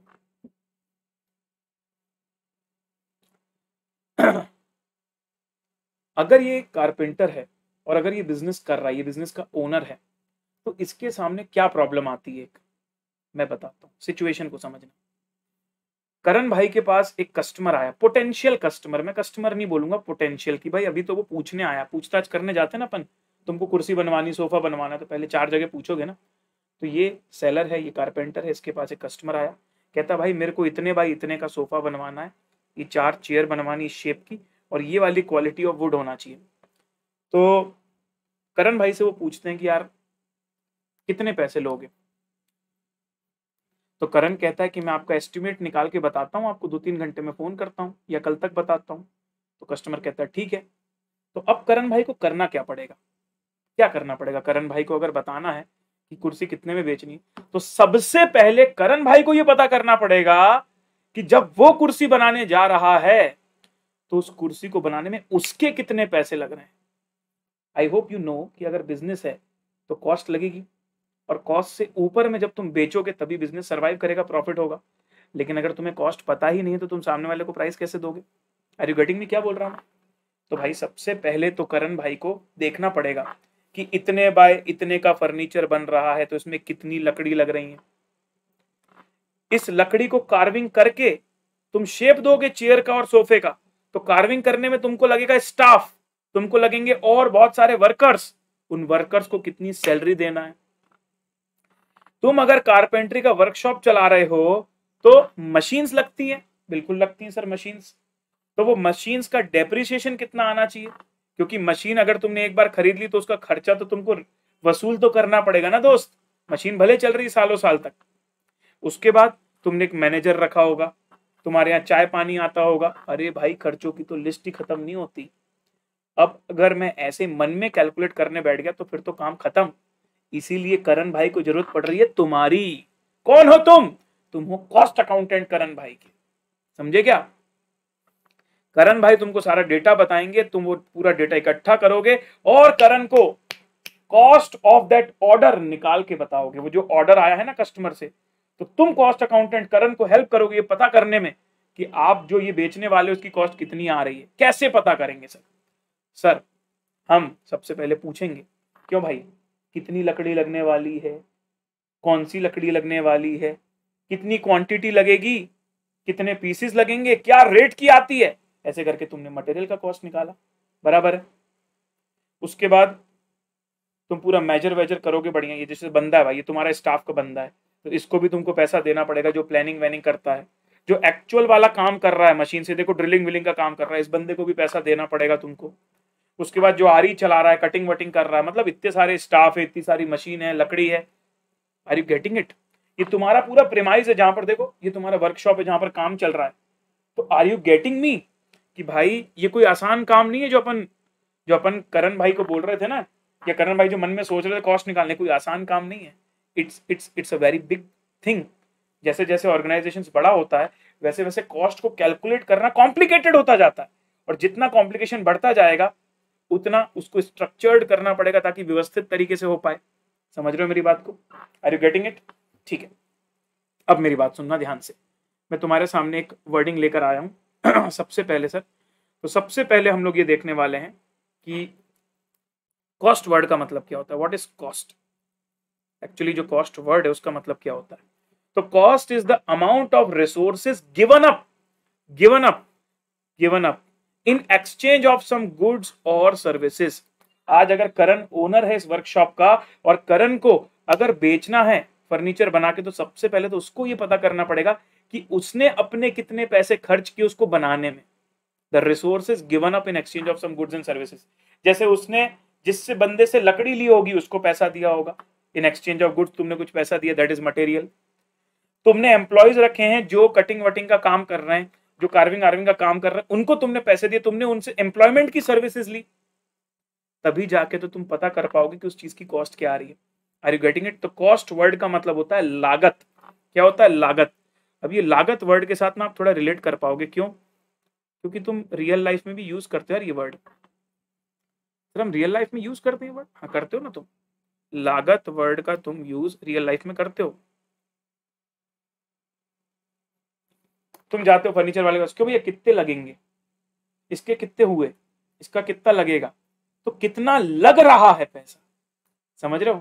किसी चीज़ को करने में, किसी चीज़ को बनाने में कितना खर्च आ रहा है दैट इज़ लागत दैट इज़ कॉस्ट लेकिन सब्जेक्ट को हम लोग प्यार से कॉस्टिंग कॉस्टिंग कॉस्टिंग कॉस्टिंग बोलते हैं। वैसे तो सब्जेक्ट का पूरा नाम अगर आप स्टडी मटेरियल में देखोगे तो वह कॉस्ट एंड मैनेजमेंट अकाउंटिंग और हम पूरा ही पढ़ते हैं कॉस्ट एंड मैनेजमेंट अकाउंटिंग लेकिन आप प्यार से कॉस्टिंग क्यों बोलते हो? तो अब मैं तुमको बताता हूँ कॉस्टिंग का मतलब क्या होता है। कोई भी वर्ड के आगे आईएनजी लग जाता है तो आप सबने इंग्लिश में पढ़ा होगा बचपन में। कोई भी, जैसे कि साइकिल साइकिल है साइकिल तो अगर तुम साइकिल चला रहे हो तो तुम साइकिलिंग बोल देते हो। मतलब वर्ब हो जाता है वर्ब ये नाउन है तो ये वर्ब हो गया। समझते हो इतनी अंग्रेज़ी तो समझते हो ना। वैसे अगर कॉस्ट नाउन है कॉस्ट नाउन है तो कॉस्टिंग वर्ब है। कॉस्टिंग क्या है दोस्त? वर्ब है। इसका मतलब कॉस्ट निकालना the process the steps of calculating cost या ascertaining cost is called as costing तो कॉस्ट वर्ड का मतलब समझ गए लागत, किसी चीज़ की क्या लागत है? और उस लागत को निकालने का जो प्रोसेस है, या टेक्निक है, उस पूरी क्रिया को, उस पूरे वर्ब को हम क्या बोलते हैं? Costing it is as simple as that ठीक है जी? यस सर वेरी नाइस तो एक वर्ड आपको यहाँ दिख रहा है असर्टेनिंग मैं बता देता हूँ असर्टेनिंग का मतलब क्या होता है? क्योंकि ये वर्ड आपको बहुत बार देखने को मिलेगा. A S C E R T A I N ascertain ascertain का मतलब होता है कैलकुलेट जैसे हम लोग नहीं बोलते हैं कि calculate the cost of this तो ascertain the cost of this तो थोड़ा सा फैंसी वर्ड है, लेकिन कॉस्टिंग में बहुत यूज़ होता है। तो आप सभी से उम्मीद है कि भाई आप इसको याद रखेंगे। Ascertain is very simple it's mean it means calculation ठीक है? तो ascertainment of cost so the technique and process of ascertaining cost is called as costing is it clear to you चलो भाई, आगे चलते हैं। ये फर्नीचर वाला एग्ज़ाम्पल हमने बढ़िया तरीके से देखा। अच्छा ये सुपरवाइजर अंकल जानते हो आप इनको? ये जो मोबाइल में बात कर रहे हैं ना पीछे सब लोग काम कर रहे हैं, लेकिन ये उनको सबको सुपरवाइज करते हैं। उन सबको गाइडेंस देते हैं कस्टमर से कई बार पूछते हैं कस्टमर बोलता है कि नहीं, इसको ऐसा नहीं, ऐसा करवाओ। तो वो सारा बंदा, ये वाला बंदा करता है काम। चलो जी। अब मैं आपके सामने एक बढ़िया सा दूसरा एग्ज़ाम्पल लेकर आने वाला हूँ। सुपर मार्केट जानते हो सब लोग सुपर मार्केट जिसमें एक ही छत के नीचे बहुत सारी चीज़ें मिल जाती हैं मतलब सुपर मार्केट एक ही मार्केट में बहुत कुछ मिल जाता है। मोर हो गया, बिग बाज़ार हो गया, बिग बास्केट हो गया, जियो मोर हो गया, रिलायंस मार्ट हो गया, डी मार्ट हो गया। क्या आप सबको पता है, इसमें से सबसे ज़्यादा सबसे ज़्यादा बेस्ट कौन सा चलता है? वैसे तो सब्जेक्टिव है ये चीज़, लेकिन फिर भी मोर और लेस ज़्यादातर एक है जो सबसे ज़्यादा सक्सेस है। इन सब में एक सक्सेस स्टोरी है, जिसको आज मैं डेप्थ में तुमको बताऊँगा कि वो सक्सेस क्यों है। Any guesses guys out of these brands which one is most successful in the field of supermarket देखते हैं भाई। किसको अपने आसपास का नॉलेज है? डी मार्ट बिल्कुल सही कहा लुसीफर तुमने। डी मार्ट बिल्कुल मंजीत भाई एब्सोल्युटली करेक्ट खुशल, कथन, बिल्कुल सही बात है सर डी मार्ट अब मैं आपको बताता हूँ डी मार्ट क्यों सक्सेसफुल है। अच्छा पहले मुझे ये बताइए सभी लोग कि सुपरमार्केट का जो बिज़नेस है, कि आज एक बिग बाज़ार खुला है, आज एक जियो मार्ट खुला है रिलायंस मार्ट खुला है, क्या ये मोनोपोलिस्टिक बिज़नेस है या फिर एकदम परफेक्ट कंपटीशन है? पहले मेरे को इस बात का आंसर दीजिए आप लोग। ये जो सुपरमार्केट वाली इंडस्ट्री है what do you think is it perfect competition या फिर मोनोपोली चल रही है ओलोगोपोली चल रही है? क्या लगता है तुम्हें? सर कट थ्रोट कंपटीशन है। कंपटीशन बोल रहा है वो कहता है, मैं इतने रुपए में शक्कर दूँगा। वो कहता है, मैं इतने में शक्कर दूँगा। चल ले। मैं एमआरपी पे इतने परसेंट डिस्काउंट दूँगा, मैं इतने परसेंट डिस्काउंट अरे भाई फुल परफेक्ट कॉम्पिटिशन एकदम ज़बरदस्त वाला कंपटीशन तो अगर कॉम्पिटिशन परफेक्ट है मतलब प्राइजेस को डिसाइड करना बहुत ज़्यादा तुम्हारे हाथ में है नहीं। कि तुम बहुत ज़्यादा प्राइस हाई रख के और बहुत पैसा कमा लोगे। ऐसा होता क्या? तुम बताओ, ऐसा होता क्या? कि बहुत ज़्यादा प्राइजेस रख के तुम बहुत पैसा कमा लोगे। अरे मार्केट ही वैसा नहीं भाई। तुम प्राइस ज़्यादा करोगे, लोग दूसरे के पास चले जाएँगे। तो आज अगर एक बिज़नेस को सक्सेसफुल होना है तो बिज़नेस को प्रॉफिटेबल होना बहुत ज़रूरी है। तो selling price minus cost price या sales minus cost will give you profit अब मैं तुमसे ये बोल रहा हूँ कि सेलिंग प्राइस को बढ़ाने का स्कोप तुम्हारे पास नहीं है। सेलिंग प्राइस को इंक्रीज करने का स्कोप तुम्हारे पास है क्या लाइफ में? इन दिस इंडस्ट्री नहीं सर सेलिंग प्राइस को इंक्रीज कर लू मैं, ये स्कोप मेरे पास नहीं है। तो बताओ, अगर तुम्हें अच्छा बिज़नेस क्रिएट करना है, अगर तुम्हें सक्सेसफुल होना है तो कौन सा इकलौता ऑप्शन तुम्हारे पास बचता है, बताओ। Is the only option with you if you can not increase your sales price what is the only thing with you to increase the volume and to become more profitable cost price को कम करना। जो चीज़ तुम जितने में कर पा रहे हो, उसको और ऑप्टिमाइज करो। उसको और बेटर करो, उसको और सस्ते में करके दिखाओ। जितना ज़्यादा सस्ते में करके दिखाओगे, उतना प्रॉफिटेबल रहोगे और उतना साउंड हो जाएगा तुम्हारा business and that is the reason behind the D Mart success कितने बच्चे एक्साइटेड हैं एक्चुअली इन डिटेल में जानने के लिए कि सर डीमार्ट ने ऐसे क्या ऐसे क्या काम किए जिसकी वजह से वो अपनी कॉस्ट डिक्रीज कर पाया। कितने बच्चे जानना चाहते हैं इस बात को, बताइए मुझे। आप सबको मैं बता दूँ, मैं प्राउडली यहाँ पर बोलना चाहूँगा प्राउडली भाई मेरी कंपनी तो नहीं है बट फिर भी प्राउड वर्ड लगा दिया मैंने कि ये कॉस्ट लीडर है इस मार्केट का कॉस्ट लीडर मतलब बाकियों से बहुत कम कॉस्ट में वो सेम चीज़ डिलीवर कर देता है लोगों को। बाकियों से कम कॉस्ट कॉस्ट लीडरशिप है यहाँ पर डी के पास। और इसी वजह से वो मोस्ट सक्सेसफुल है मोस्ट सक्सेसफुल चलिए सर डेप्थ में चलते हैं। डीप डाइव करते हैं डी की केस स्टडी के अंदर। तो आप सभी ने ये चित्र तो देखा होगा आपके शहर में आसपास। वैसे मैं तो छोटी जगह से हूँ, यहाँ तो दूर दूर तक डी नहीं है। लेकिन इतनी अवेयरनेस मुझमें है, मैं शहर जाता रहता हूँ। और मैंने भी अपनी पढ़ाई जो है शहर से करी है, इसलिए I am totally aware of this और जो भी आप मेरे जैसे जो छोटी जगह से होंगे, अभी नहीं भी पता होगा तो बहुत जल्दी जब आप आर्टिकलशिप में जाएँगे ना तो आपको ये सब चीज़ें पता चल जाएँगी। डोंट वरी अबाउट ठीक है? आपको बैड फील करने की ज़रूरत नहीं। आप डी के अंदर मैं आपको लेके जा रहा हूँ। इस चित्र को अच्छे से देखो। आप कोई भी बड़े शोरूम में जाओगे, बिग बाज़ार में जाओगे, या बेस्ट प्राइस में जाओगे, या समथिंग एल्स आप देखोगे ना इंटीरियर बड़ा तगड़ा रहता है, एकदम प्यारा इंटीरियर रहता है, ऐसी लाइटिंग वाइटिंग बेहतरीन वाली है। लेकिन डीमार्ट की रूफ देखो तुम। डीमार्ट की रूफ देखो। बहुत ज़्यादा अट्रैक्टिव नहीं है, सर। ऐसे नॉर्मल सी है। स्टील विस्टील का जो भी इन्होंने बना दिया, वैसा है। अच्छा तुम शेल्फ देखो शेल्फ शेल्फ देखो तुम शेल्फ सर शेल्फ भी बेसिक है एकदम। बहुत ज़्यादा ऐसे तगड़े वाले शेल्फ नहीं है कि एकदम सुंदर सा दिख रहा है, एकदम चमक रहा है। लाइटिंग एकदम भड़कीली डाली हुई है। बिल्कुल नहीं सर एकदम बेसिक अच्छा तुम्हारे जो प्राइस के कार्ड लगे हुए ना, वो भी देखो तुम। प्राइस के कार्ड भी सिंपल से पेपर में प्रिंट करके डाले हुए देखो। जहाँ भी तुमको प्राइस के कार्ड दिख रहे हैं, जैसे वहाँ पर वो कौन सा चीज़ वीज रखा हुआ है? टोस्ट रखा हुआ है वहाँ पर, टोस्ट। टोस्ट के पैकेट के ऊपर वो प्राइस का कार्ड जो रखा हुआ है, तुम अच्छे से देखो। सिंपल से पेपर में काले कलर से प्रिंट करके डाला हुआ है। क्या बात करो सर आप? हाँ। तो इतनी बड़ी कंपनी होने के बाद भी सर ये क्या चिंदी पने चल रहे हैं? ये चिंदी पने नहीं है भाई। यही डिफरेंस क्रिएट करता है। आज अगर तू किसी चीज़ की तेरी रिक्वायरमेंट है रेगुलर बेसिस में, जैसे आज मैं राशन रेगुलर बेसिस में लेता हूँ किराना का सामान रेगुलर बेसिस में लेता हूँ। मेरे को नहीं मतलब कि जहाँ से मैं लेता हूँ वो कितना सुंदर है। ये कोई लग्जरी खरीदने थोड़ी आ रहा हूँ मैं कि एकदम माहौल बनना चाहिए। ज्वेलरी की दुकान में जाते हो तो बात अलग है। तुम एक्स्ट्रा पैसा लेके जा रहे हो, दिखने में अच्छा लगना चाहिए something like this it's on luxury but ये सब तुम डेली चीज़ें खरीद रहे हो यार। तुमको क्या करना सामने वाले ने सुंदर शेल्फ में रखा है, बढ़िया लाइटिंग रखी, जो तुमको खरीदना है वो तुम खरीदोगे। पर सबसे ज़्यादा जो मैटर करता है वो ये कि कौन कितने कम प्राइस में दे रहा है। एक जगह एमआरपी पे मिल रहा है और एक जगह एमआरपी से पाँच रुपए भी कम मिल रहा है ना तो तुम बोलोगे, चल यार, चार कदम ज़्यादा चल लेता हूँ, लेकिन एमआरपी से पाँच रुपए कम तो मिल रहा है ना, फ़ायदा हो रहा है मेरा। क्योंकि तुम इतना, तुम्हारे हाउस होल्ड के खर्चे हैं ये भाई, जितना बचाओगे उतना अच्छा है। और भारत में तो बिल्कुल चलना भाई, भारत में तो दो दो रुपए के लिए लोग दो किलोमीटर चल लें। तो यहाँ तो एमआरपी से कम मिल रहा है भाई, बिल्कुल जाएँगे, सवाल ही नहीं उठता। तो ये डीमार्ट की बहुत बड़ी खास बात है कि उसने अपनी जो स्टोर्स बनाए हैं ना, बहुत लो कॉस्ट में बनाए हैं।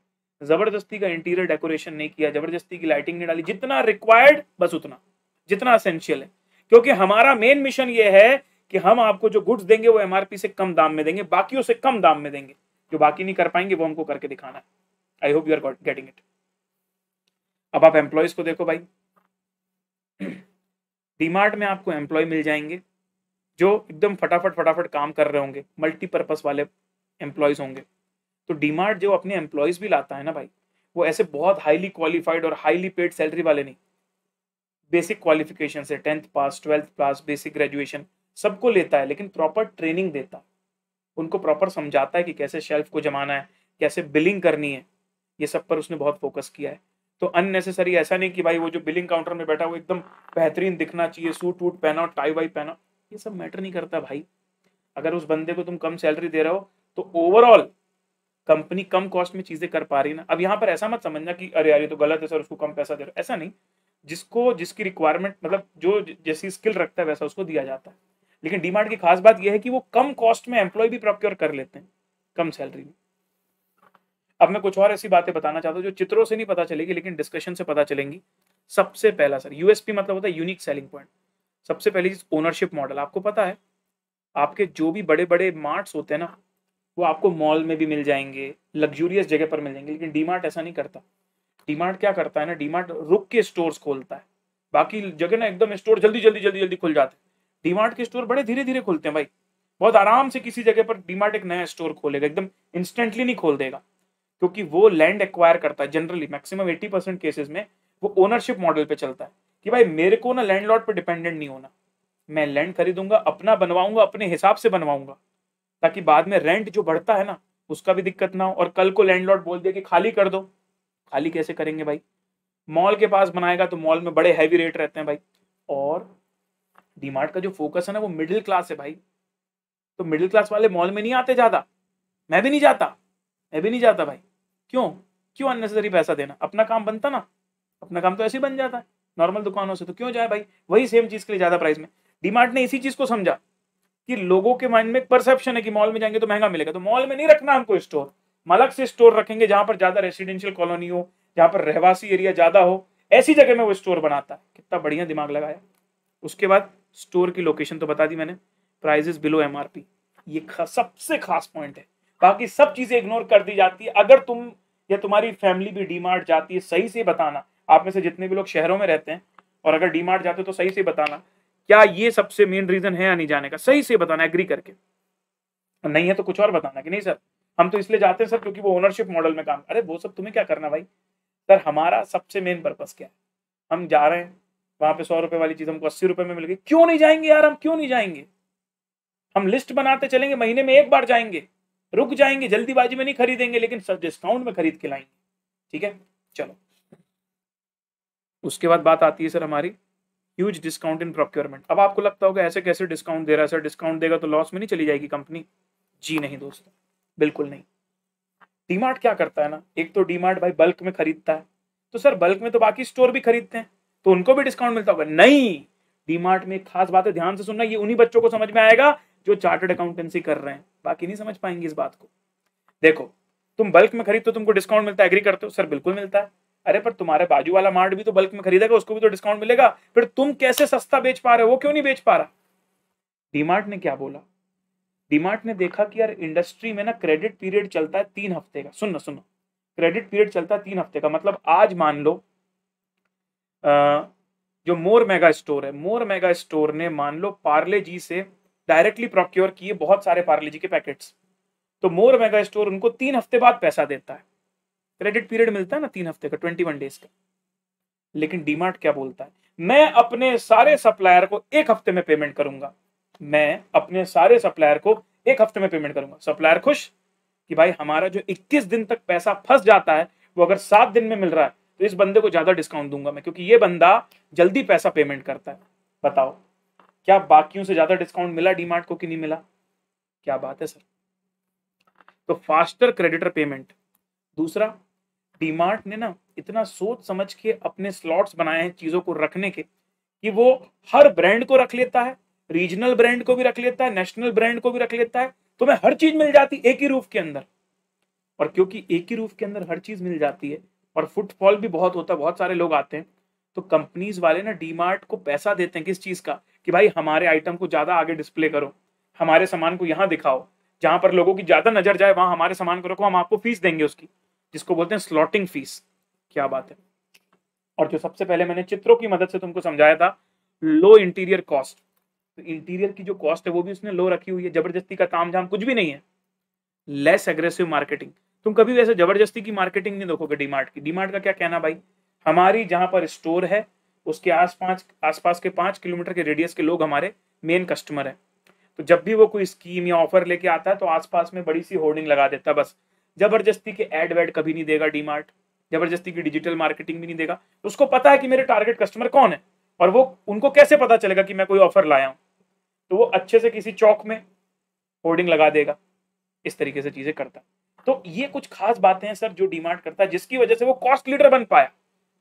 अब आपसे मैं ये पूछना चाहता हूँ, क्या आप इस बात से एग्री करते हो कि in the current business scenario मैं जो लिख रहा हूँ उसको ध्यान से पढ़ना in the current business scenario most of the most of the business are in very high competition. Do you agree आज के समय में सर बिज़नेस वर्ल्ड इतना ज़्यादा डायनामिक हो गया है कि हर इंडस्ट्री ऑलमोस्ट हाईली कॉम्पिटिटिव हो गई है। कितने लोग इस बात से एग्री करते हैं? बताइए। How many of you agree with this कि सर, बहुत हाईली कॉम्पिटिटिव हो गया बिज़नेस आज के समय में सर? बिल्कुल। वेरी हाई कॉम्पिटिशन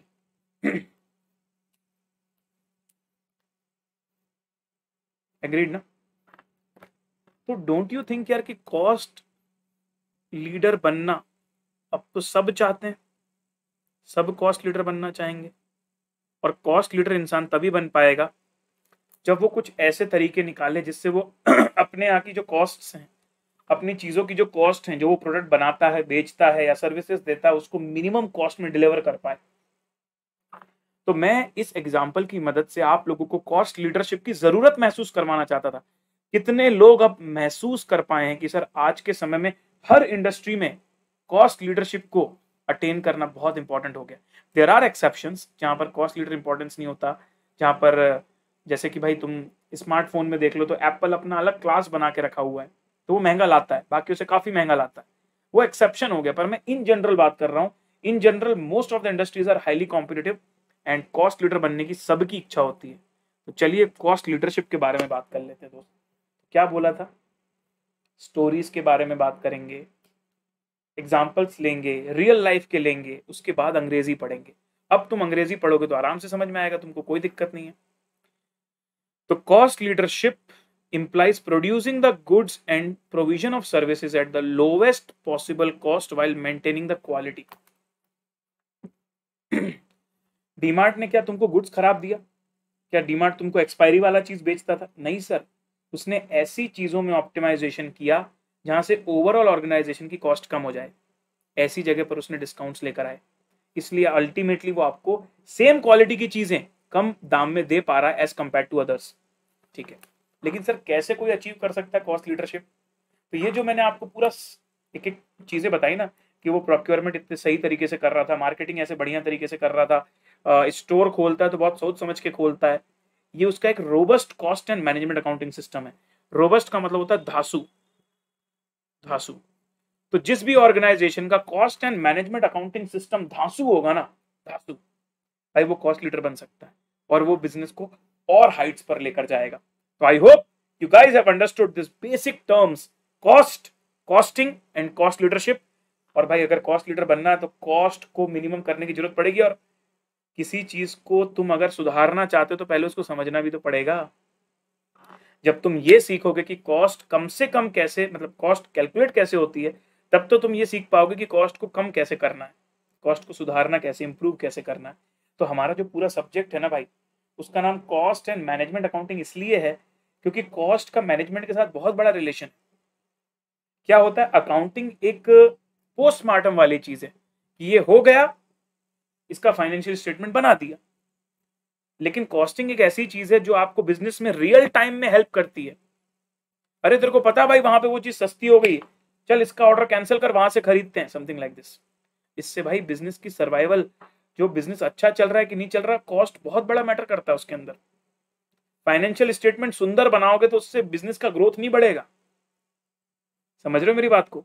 तो कॉस्ट का मैनेजमेंट में बहुत बड़ा इन्वॉल्वमेंट है। इसलिए इस पूरे सब्जेक्ट के अंदर हम लोग कॉस्ट कैसे कैलकुलेट होता है ये भी सीखेंगे और कैसे कॉस्ट के कुछ ऐसे टूल्स हैं जो मैनेजमेंट हेल्प लेता है अपनी कॉस्ट रिड्यूस करने में। That is the objective of this subject ठीक है? बिल्कुल लेंगे। दीक्षांत भाई, ये कोई पूछने वाली बात है? दोबारा मत पूछना क्लोरमेंट, ठीक है? चल। हर अटेम्प्ट के रिविजन चलेंगे जब तक है जहाँ। Don't worry. पर सही समय पे, है ना? थोड़ा सा इंतज़ार करिए। जो मैंने सीरीज़ चालू कर थी, वो भी रिज्यूम होगी। एक से दो दिन के अंदर अनाउंसमेंट भी करूँगा उसके बारे में, डोंट वरी। चलो जी। अब एक बात बताना भाई, मज़ा आ रही है कि नहीं मज़ा आ रही है? दिल गार्डन गार्डन हो रही है कि नहीं हो रही है? जल्दी कमेंट बॉक्स में बताओ, मैं पानी पी लेता हूँ तब तक।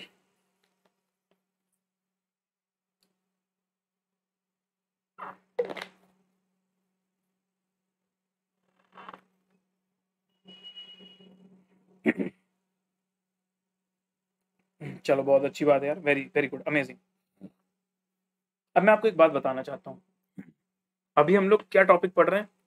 अभी हम लोग बेसिक्स पढ़ रहे हैं बेसिक्स जब हम बेसिक्स पढ़ रहे हैं तो हम ना काइंड ऑफ़ इसके अंदर कोई भी न्यूमेरिकल नहीं पढ़ रहे हैं नो न्यूमेरिकल तो अगर तुम बेसिक्स की दो तीन क्लासेस के बेसिस पे ये सोच लोगे कि अबे यार कॉस्टिंग में तो पता थ्योरी थ्योरी है यार सारी, यार कोई न्यूमेरिकल ही नहीं आता तो आप गलत सोच रहे हो बेटा. क्योंकि जो कॉस्टिंग होता है ना, उसमें जब तुम बेसिक चीज़ों को समझ लेते हो, फिर मज़ा आता है न्यूमेरिकल करने में. तो थोड़ा सा इंतज़ार करना. न्यूमेरिकल्स का न्यूमेरिकल्स जब आएँगे तो और ज़्यादा मज़ा आएगा। थोड़ा समय ऐसे निकालना पड़ेगा, है ना? आप लोगों से जो है सहयोग की आशा रखता हूँ कि आप सिर्फ़ बेसिक्स के बेसिस पे पूरे चैप्टर को जज ना कर लें कि अरे, ये तो प्रैक्टिकल बताए थे सर ने, ये तो प्रैक्टिकल लग ही नहीं रहा है, बताओ यार, ऐसा थोड़ी होता है। तो ऐसे एलिगेशन ना लगाएँ भाई तो अच्छा होगा। चलिए। तो अब मैं आप लोगों के सामने लेकर आया हूँ दूसरा topic objectives of cost accounting भाई, जो कॉस्ट अकाउंटिंग तुम सब्जेक्ट पढ़ रहे हो क्या ऑब्जेक्टिव्स है तुम्हारे? क्या पर्पस क्या ऑब्जेक्टिव मतलब काइंड ऑफ़ पर्पस इससे क्या अचीव हो रहा है तुमको? What are the objective you want to achieve by using cost accounting एक एक करके समझेंगे ऑब्जेक्टिव को। ठीक है सर? बताओ जल्दी से सर, कोई दिक्कत नहीं है। एक चित्र वित्र देखें क्या यार? हम्म।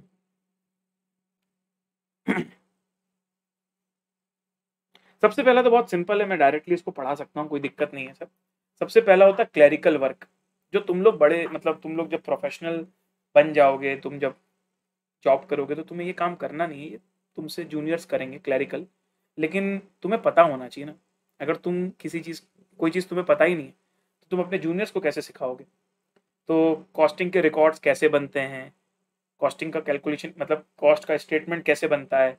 किसी पर्टिकुलर प्रोडक्ट की कॉस्ट कैसे निकाली जाती है?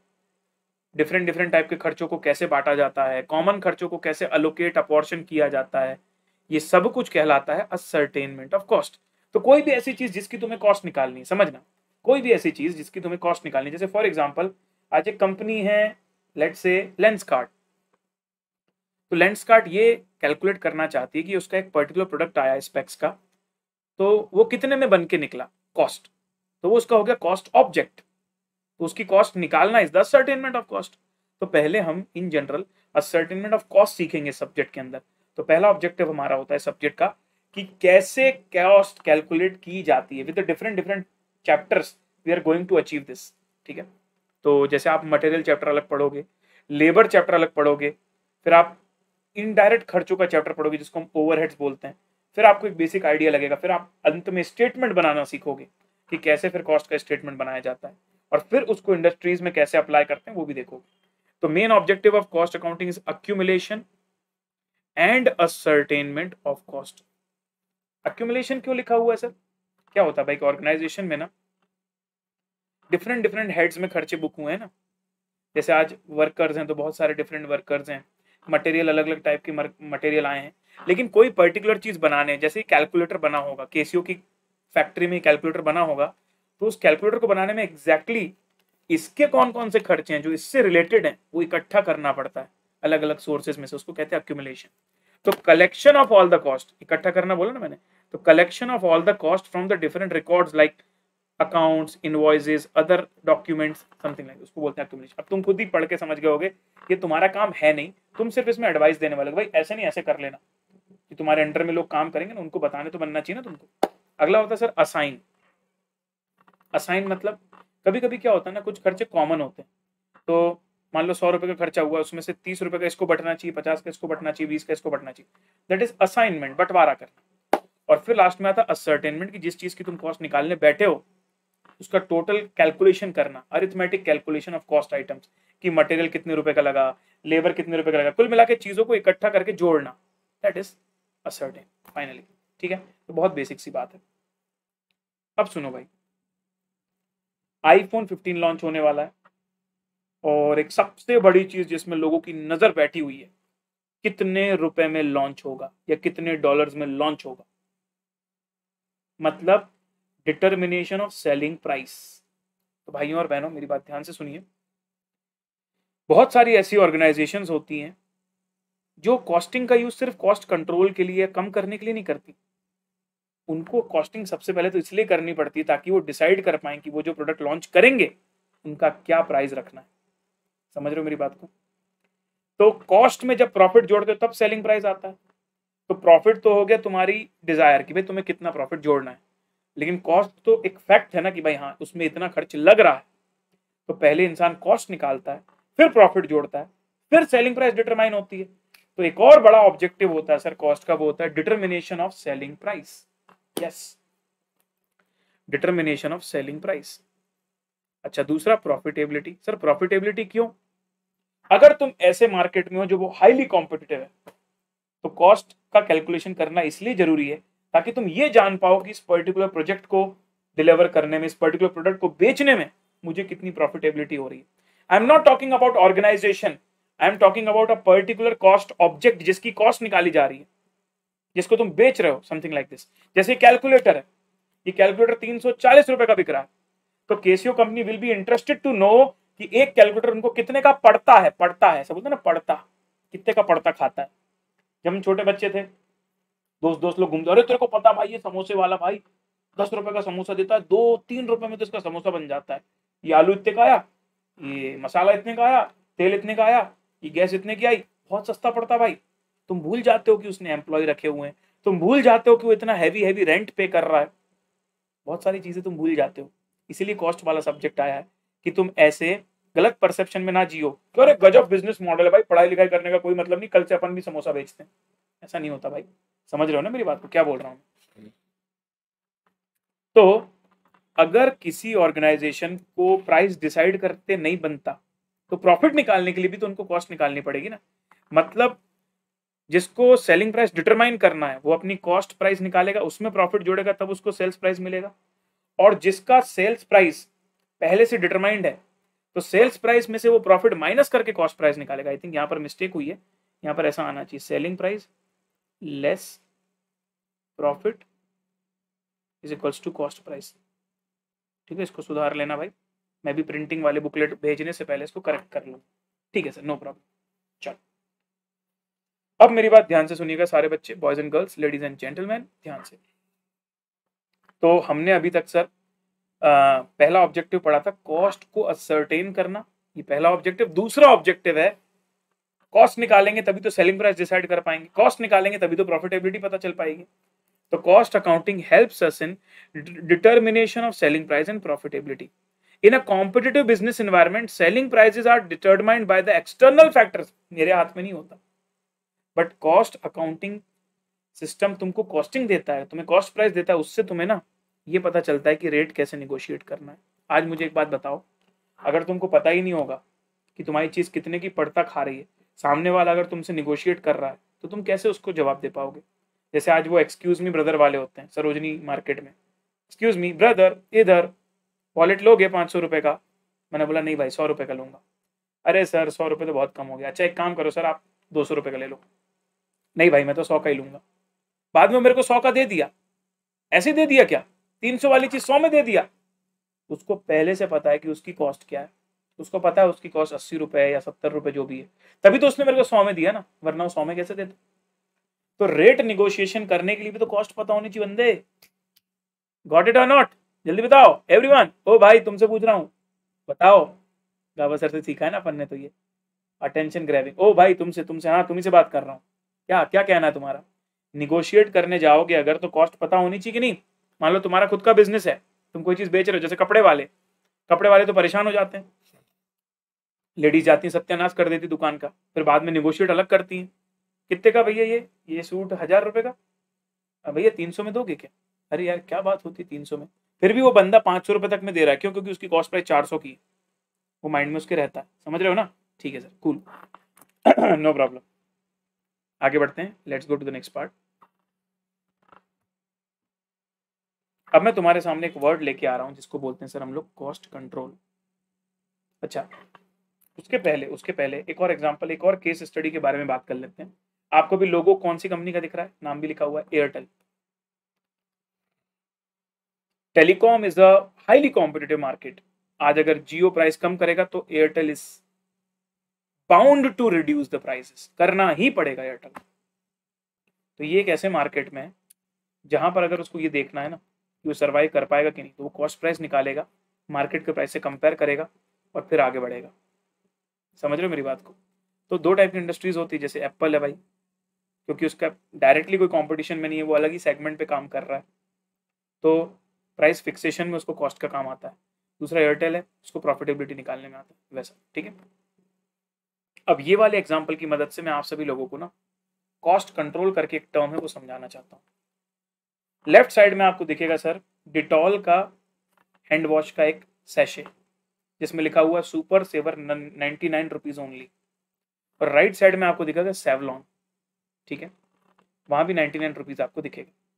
डिटॉल को बनाने वाली कंपनी का नाम है रैकेट बैंक के सर है?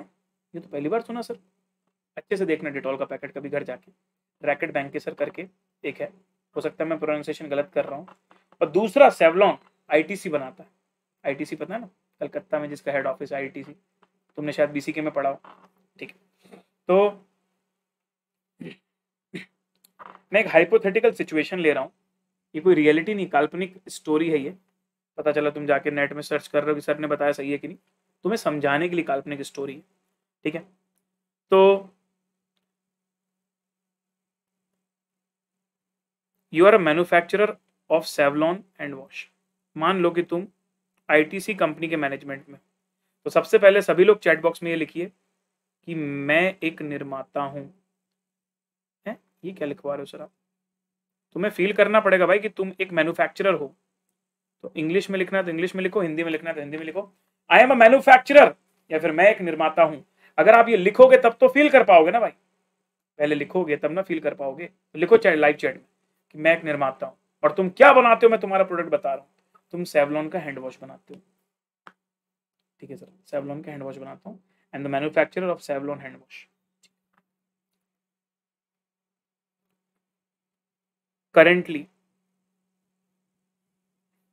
currently जो कॉस्ट प्राइस पर यूनिट है, जो मेरा सैशे का एक पैकेट बनता है ना, एक पैकेट बनता है उसकी कॉस्ट जब मैंने निकाली एवरेज तो वो कॉस्ट आ रही है मेरी करीबन one hundred and twenty rupees एक सौ बीस रुपये का मेरे पैकेट बन के निकल रहा है सेवलॉन का, ठीक है? और अभी मार्केट में प्राइस चल रहा है। Selling price one hundred and sixty per unit ठीक है सर नो प्रॉब्लम ये सेवलॉन की बात कर रहा हूँ मेरा मेन कॉम्पिटिटर है Dettol Dettol hand wash Dettol hand wash जो है, उसकी कॉस्ट प्राइस पर यूनिट है एट्टी रुपीज़ पर यूनिट और सेलिंग प्राइस है one hundred sixty per unit या मान लो one sixty five per unit ये मैं बात कर रहा हूँ आपसे प्री कोविड प्री कोविड की बात कर I am talking pre covid ये पूरी हाइपोथेटिकल सिचुएशन है ना बट अगर आप इसमें पूरी तरह फोकस करके अपने आप को इन्वॉल्व करके समझते हो ना तो आपको कॉस्ट कंट्रोल समझ में आ जाएगा। तो आप सेवलॉन हैंड वॉश के निर्माता हो और सेवलॉन का हैंड वॉश बनता है एक सौ बीस प्रति यूनिट में और बिकता है वन सिक्सटी पर यूनिट में और प्री कोविड काल की अगर मैं बात करूँ तो ये कॉस्ट स्ट्रक्चर था कि सेवलॉन वाले बनाते थे एक सौ बीस का और बेचते थे एक सौ साठ का तो उनको प्रॉफिट मिल रहा था चालीस रुपए का। और डिटॉल हैंड वॉश वाले जो है भाई वो एक सौ पैंसठ रुपए में बेच रहे थे, अस्सी रुपए का बना के। तो डेफिनेटली आपको समझ में आ ही रहा होगा कि डिटॉल वाले का अच्छा खासा मार्जिन है भाई। डिटॉल वाले का अच्छा खासा मार्जिन है।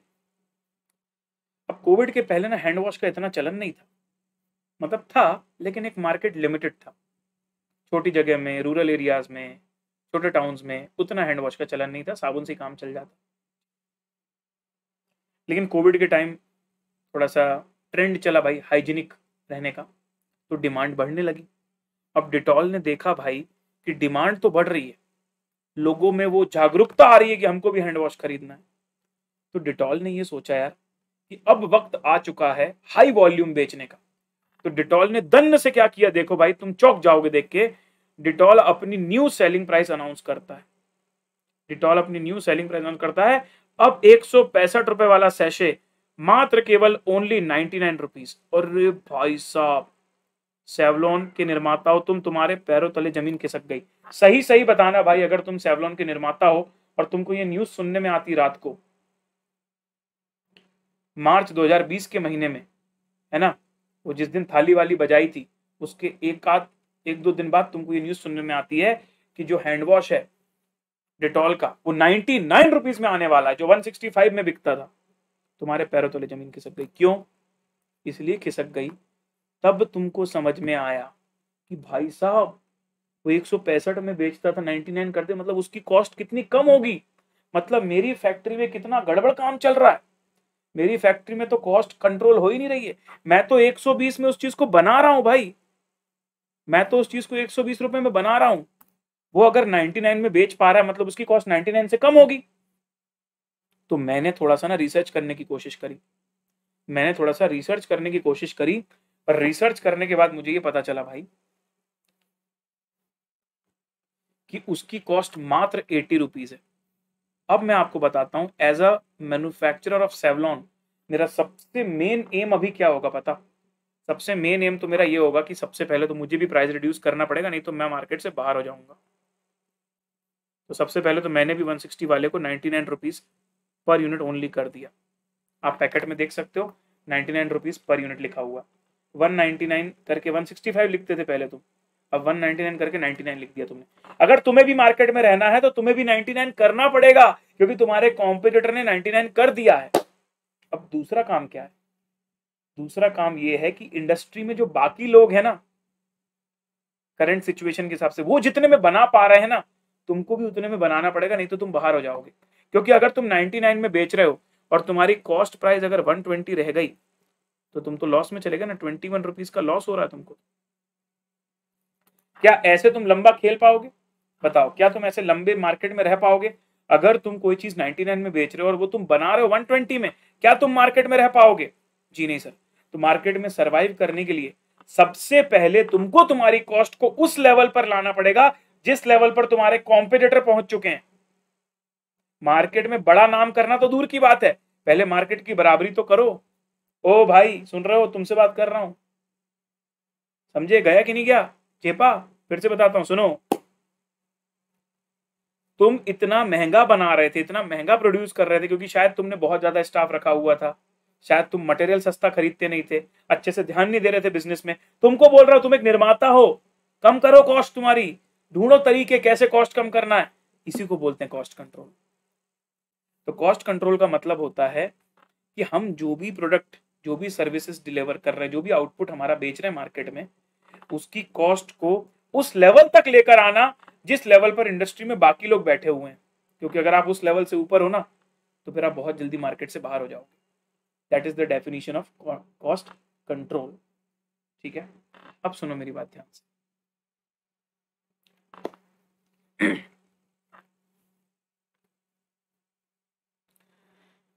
Maintaining the discipline in the expenditure अब तुमको बजट बनाने पड़ेंगे। अब तुम्हें लोगों को लगाम लगानी पड़ेगी। ओ भाई, इससे ज़्यादा खर्चा नहीं करोगे। अच्छा इस टीम में कितने लोग काम कर रहे हैं? बीस लोग। ज़रूरत है उतने लोगों की? नहीं, चलो, पाँच लोगों को बाहर निकालो, दूसरी टीम में भेजो। Different different measures of reducing cost तुमको ढूँढने पड़ेंगे। लेकिन अभी तुम्हारा ऑब्जेक्टिव पता क्या है? अभी तुम्हारा ऑब्जेक्टिव कॉस्ट लीडर बनना नहीं है। कि तुम इतना सस्ता बना दोगे कि डिटॉल को भी वहाँ बाहर कर दो मार्केट से। इतना ज़्यादा मार्केट कैप्चर कर लो। अरे, वो तो बात ही नहीं कर रहा हूँ अभी मैं। अभी तो मैं ये बात कर रहा हूँ कि अभी तो तुम डिटॉल की बराबरी तो करके दिखाओ। डिटॉल वाला अस्सी रुपए में बना रहे हो, तुम एक सौ बीस रुपए में बना रहे हो। पहले उतना करके दिखाओ। ठीक है? तो उसके लिए तुमको खर्चों में डिसिप्लिन लाना पड़ेगा कि इससे ज़्यादा खर्चा नहीं होना चाहिए। इंश्योर करो कि expenditure are with the pre determine set standard कोई भी पीरियड शुरू होने से पहले हम डिसाइड करेंगे कि इतने ही खर्च में हमको ये काम करके दिखाना है। विदाउट क्वालिटी कंप्रोमाइज और अगर कहीं पर वेरिएशन आता है कि हमारा खर्चा ज़्यादा लगा तो उसको नोट करो रिपोर्ट करो, उसके ऊपर एक्शन लो कंटिन्यूस बेसिस पे, ठीक है? तो ये चार स्टेप्स हमारे काम करते हैं, सर कॉस्ट कंट्रोल के अंदर। सबसे पहले हम लोगों को एक प्लानिंग करनी पड़ेगी और एक स्टैंडर्ड सेट करना पड़ेगा कि इस बार मेरा ऑब्जेक्टिव है कि मैं अगले महीने से जो सेवलॉन का एक हैंड वॉश है ना, अस्सी रुपए में बना के दिखाऊँगा। ये हुआ नहीं है, ये मेरी डिज़ायर है, सुनना। ये मेरी डिज़ायर है, ये मेरी इच्छा है। अगर मुझे भी मार्केट में बने रहना है तो मुझे भी डिटॉल की बराबरी में आना पड़ेगा कॉस्ट कम करनी पड़ेगी। Set standards this is set before initiation of the production मान लो अभी सितंबर का महीना चालू हुआ तो सितंबर शुरू होने से पहले ही डिसाइड हो जाता है कि सितंबर में ये हमारा मिशन है, ये हमारा गोल है। This is the desired cost समझे क्या? ये मेरी इच्छा है कि मैं इतना कम लेके आऊँ। उसके बाद जब ये पीरियड खत्म हो गया, फिर अंत में तुम करते हो एक्चुअल को मेजर कि एक्चुअल में कितना आया। तो मान लो तुमने स्टैंडर्ड सेट किया था कि एटी रुपीज़ में बनाओगे, और एक्चुअल में बन के निकला है नाइन्टी में। जो वन ट्वेंटी में बन रहा था वो नाइन्टी में बन रहा है। तो ठीक है, कोई बात नहीं, दस रुपये अभी भी महँगा बना है ना। जो मैं सोचा था उससे दस रुपये महँगा बना, लेकिन मैंने फिर भी इंप्रूवमेंट किया है। मैंने इंप्रूवमेंट किया है। ठीक है। अच्छा फिर उसका ये कहना है कि जब तुम एक्चुअल मेजर कर रहे हो ना, उसी तरीके से मेजर करो जिस तरीके से तुमने स्टैंडर्ड सेट किए तभी तो कंपैरिजन कर पाओगे ना। अब मान लो तुम ये अस्सी रुपए पर यूनिट निकाल रहे हो और यहाँ पर कॉस्ट बाद में निकाल रहे हो तुम nine hundred rupees per litre or something like this तो कंपेरेबल नहीं होगा ना? तो अगर तुमने standard eighty rupees per unit set किया था तो तुम्हारी एक्चुअल कैलकुलेशन भी पर यूनिट लेवल पर ही निकालो। तभी तो कंपेयर कर पाऊँगा ना मैं कि भाई कितना कम हुआ, कितना ज़्यादा हुआ, कितना बच गया समथिंग लाइक दिस ठीक है? तो performance should be measured in the same manner in which the targets are set अगला कंपेयर करो दोनों को। सर, दोनों को कंपेयर करता हूँ एक्चुअल परफॉर्मेंस को कंपेयर किया स्टैंडर्ड से। उसके बाद आया डेविएशन कितना आया डेविएशन सर डेविएशन आया दस रुपए पर यूनिट अभी भी ओवर कॉस्टेड हो। मतलब तुमने जो सोचा था कि अस्सी में बनाओगे, उससे दस रुपए अभी भी महँगा बना है। तो उसको नोट करो, उसको रिपोर्ट करो और अप्रोप्रिएट पर्सन उस पर एक्शन लेगा, उसकी अथॉरिटी लेगा। समथिंग लाइक दिस ठीक है? और जब ये सब हो जाता है, उसके बाद एक्शन लेना है उसके ऊपर। कि अब भाई दस रुपए और महँगा हो और क्या सुधारू मैं? और कहा ऐसा एरिया है जहाँ पर इंप्रूव कर दूँ ताकि खर्च कम हो जाए? ये भी देखूँगा। ठीक है सर? तो वेरियांस जो आया है उसको नोट करके फर्दर उसको एनालाइज करोगे कि कारण क्या है भाई? क्यों महँगा पड़ा? मटेरियल महँगा आया था क्या? वर्कर को ज़्यादा सैलरी पे हो गई या ज़्यादा वर्कर यूज़ हो गए? वर्कर एफिशिएंटली काम नहीं कर रहे थे, छुट्टी ज़्यादा ले ली लोगों ने। क्यों क्यों क्यों महँगा पड़ रहा है? रीजन ढूंढो। एक चैप्टर पढ़ेंगे हम लोग चैप्टर थर्टीन स्टैंडर्ड कॉस्टिंग उसमें यही सीखना है कि जब तुम्हारी प्लानिंग वाली कॉस्ट और एक्चुअल वाली कॉस्ट के बीच में वेरियांस आता है तो उसकी रीजन क्या होते हैं? एनालिसिस देखो यार, ये ऊपर के जो काम थे ना, ये तो क्लर्क लोग कर लेते हैं, लेकिन एनालिसिस वाला काम एक चार्टर्ड अकाउंटेंट करता है। एक प्रोफेशनल करता है। ये सबसे मेन काम है। इसीलिए इसके ऊपर एक डेडिकेटेड चैप्टर दिया हुआ ठीक है? और अगर वेरियांस को एनालाइज करने के बाद तुम्हें ऐसा महसूस होता है कि तुमने स्टैंडर्ड में ही कुछ गड़बड़ सेटिंग करी थी तो स्टैंडर्ड को रिवाइज करो। सिचुएशंस को बदलो। जो भी तुमको अमेंडमेंट्स करने उसको करो, ठीक है? तो ये चार स्टेप्स जो आपके सामने कलरफुल तरीके से दिख रहे हैं। Set standard measure actual compare both और एनालाइज एक्शन ये आपको करने का है। तो समझे भाई, ये वाले एग्ज़ाम्पल को लिख लो स्टिकी नोट्स में आप डिटॉल वर्सेज सेवलॉन तो आपको याद आ जाएगा भाई कि कैसे डिटॉल बहुत बढ़िया स्थिति में था मार्केट में। सेवलॉन ने देखा कि डिटॉल ने एकदम से प्राइस रिड्यूस कर दिया। तब सेवलॉन को रियलाइज़ हुआ कि मेरी कॉस्ट बहुत ज़्यादा जा रही है। तो अब मुझे भी उस लेवल तक कॉस्ट को लेके जाना है कि मैं डिटॉल की बराबरी कर सकूँ। चलो, अब मान लो, अब मान लो, अब मान लो आ चुका है अक्टूबर 2023 का महीना। और इस अक्टूबर 2023 में तुम्हारा सेवलॉन जो है और जो तुम्हारा डिटॉल है, दोनों ही बार बराबरी के टक्कर में चल रहे हैं। मतलब तुम एक बहुत अच्छे निर्माता हो यार। तुमने कॉस्ट कंट्रोल करके दिखा दी। अब तुम भी अस्सी रुपए में बना पा रहे हो और नाइन्टी नाइन में सेल कर रहे हो। डिटॉल वाला भी अस्सी रुपए में बना पा रहा है और नाइन्टी नाइन रुपीज़ में सेल कर पा रहा है।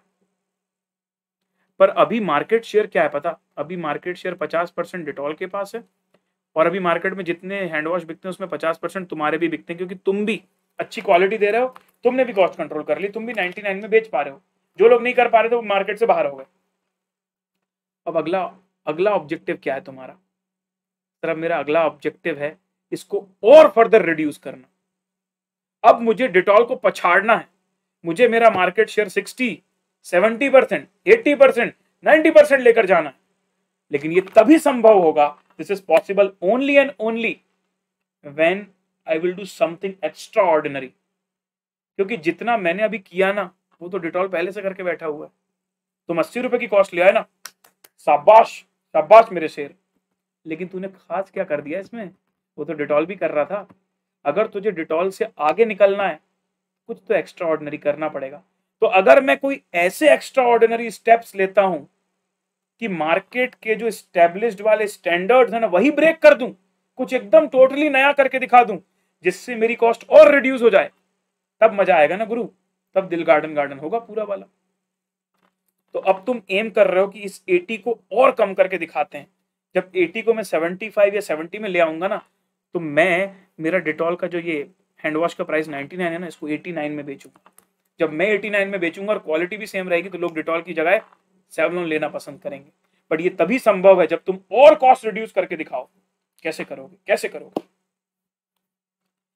अब आप मुझे बताइए भाई, क्या जो मैं कॉस्ट और फर्दर कम करने की बात कर रहा हूँ, क्या ये इजी टास्क होगा? क्या ये एकदम बहुत ही आसान सी चीज़ होगी? अगर ये बहुत ही आसान सी चीज़ होती तो डिटॉल अभी तक कब का कर लिया होता? जब तुम इतनी मेहनत कर रहे थे और 120 से 80 तक पहुँचने की कोशिश कर रहे थे तो डिटॉल भी तो खाली नहीं बैठा था। वो भी तो अपने साइंटिस्ट को रिसर्च करने को बोल रहा था कि कोई ऐसा केमिकल ढूंढो कि हमारा हैंड वॉश और सस्ता हो जाए, कोई ऐसी मशीन बनाओ कि हम और कम कॉस्ट में प्रोड्यूस कर पाए। तुमको भी ऐसे कुछ करना पड़ेगा। लेकिन लेट्स सी भाई कि कौन ये इस चीज़ पर पहले अमल कर पाता है? कौन इस चीज़ को पहले ढूंढ पाता है? कौन कोई ऐसा स्टेप लेता है कि मार्केट ही बदल जाए? समझ रहे हो?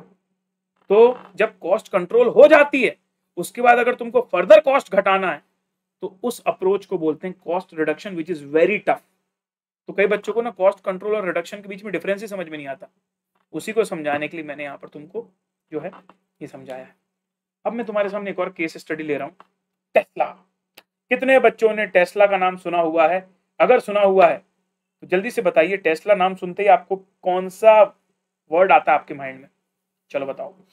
टेस्ला के बारे में मैं कुछ बात करूँगा और कॉस्ट रिडक्शन के कॉन्सेप्ट को उसके बाद बताऊँगा। पहले टेस्ला समझा देता हूँ, उसके बाद कॉस्ट रिडक्शन ठीक है? चलो। लो भाई।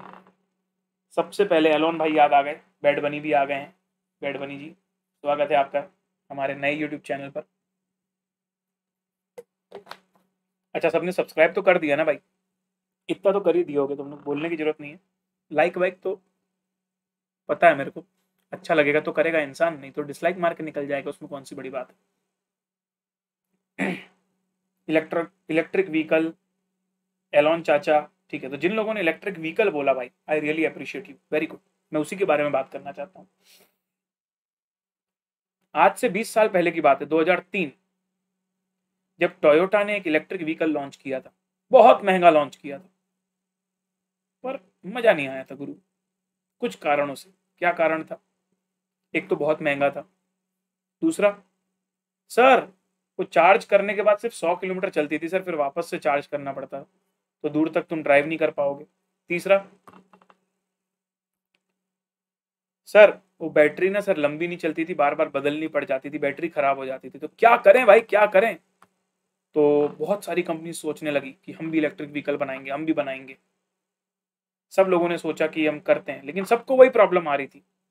बोले, यार बैटरी तो बहुत महँगी आती है, कैसे कर पाएँगे? कोई दूसरे चैलेंज बता रहा, कोई कह रहा है कि, यार इलेक्ट्रिक गाड़ी में पिकअप नहीं आता यार परफॉर्मेंस नहीं आता, मज़ा नहीं आ रहा यार, क्या करें, बताओ?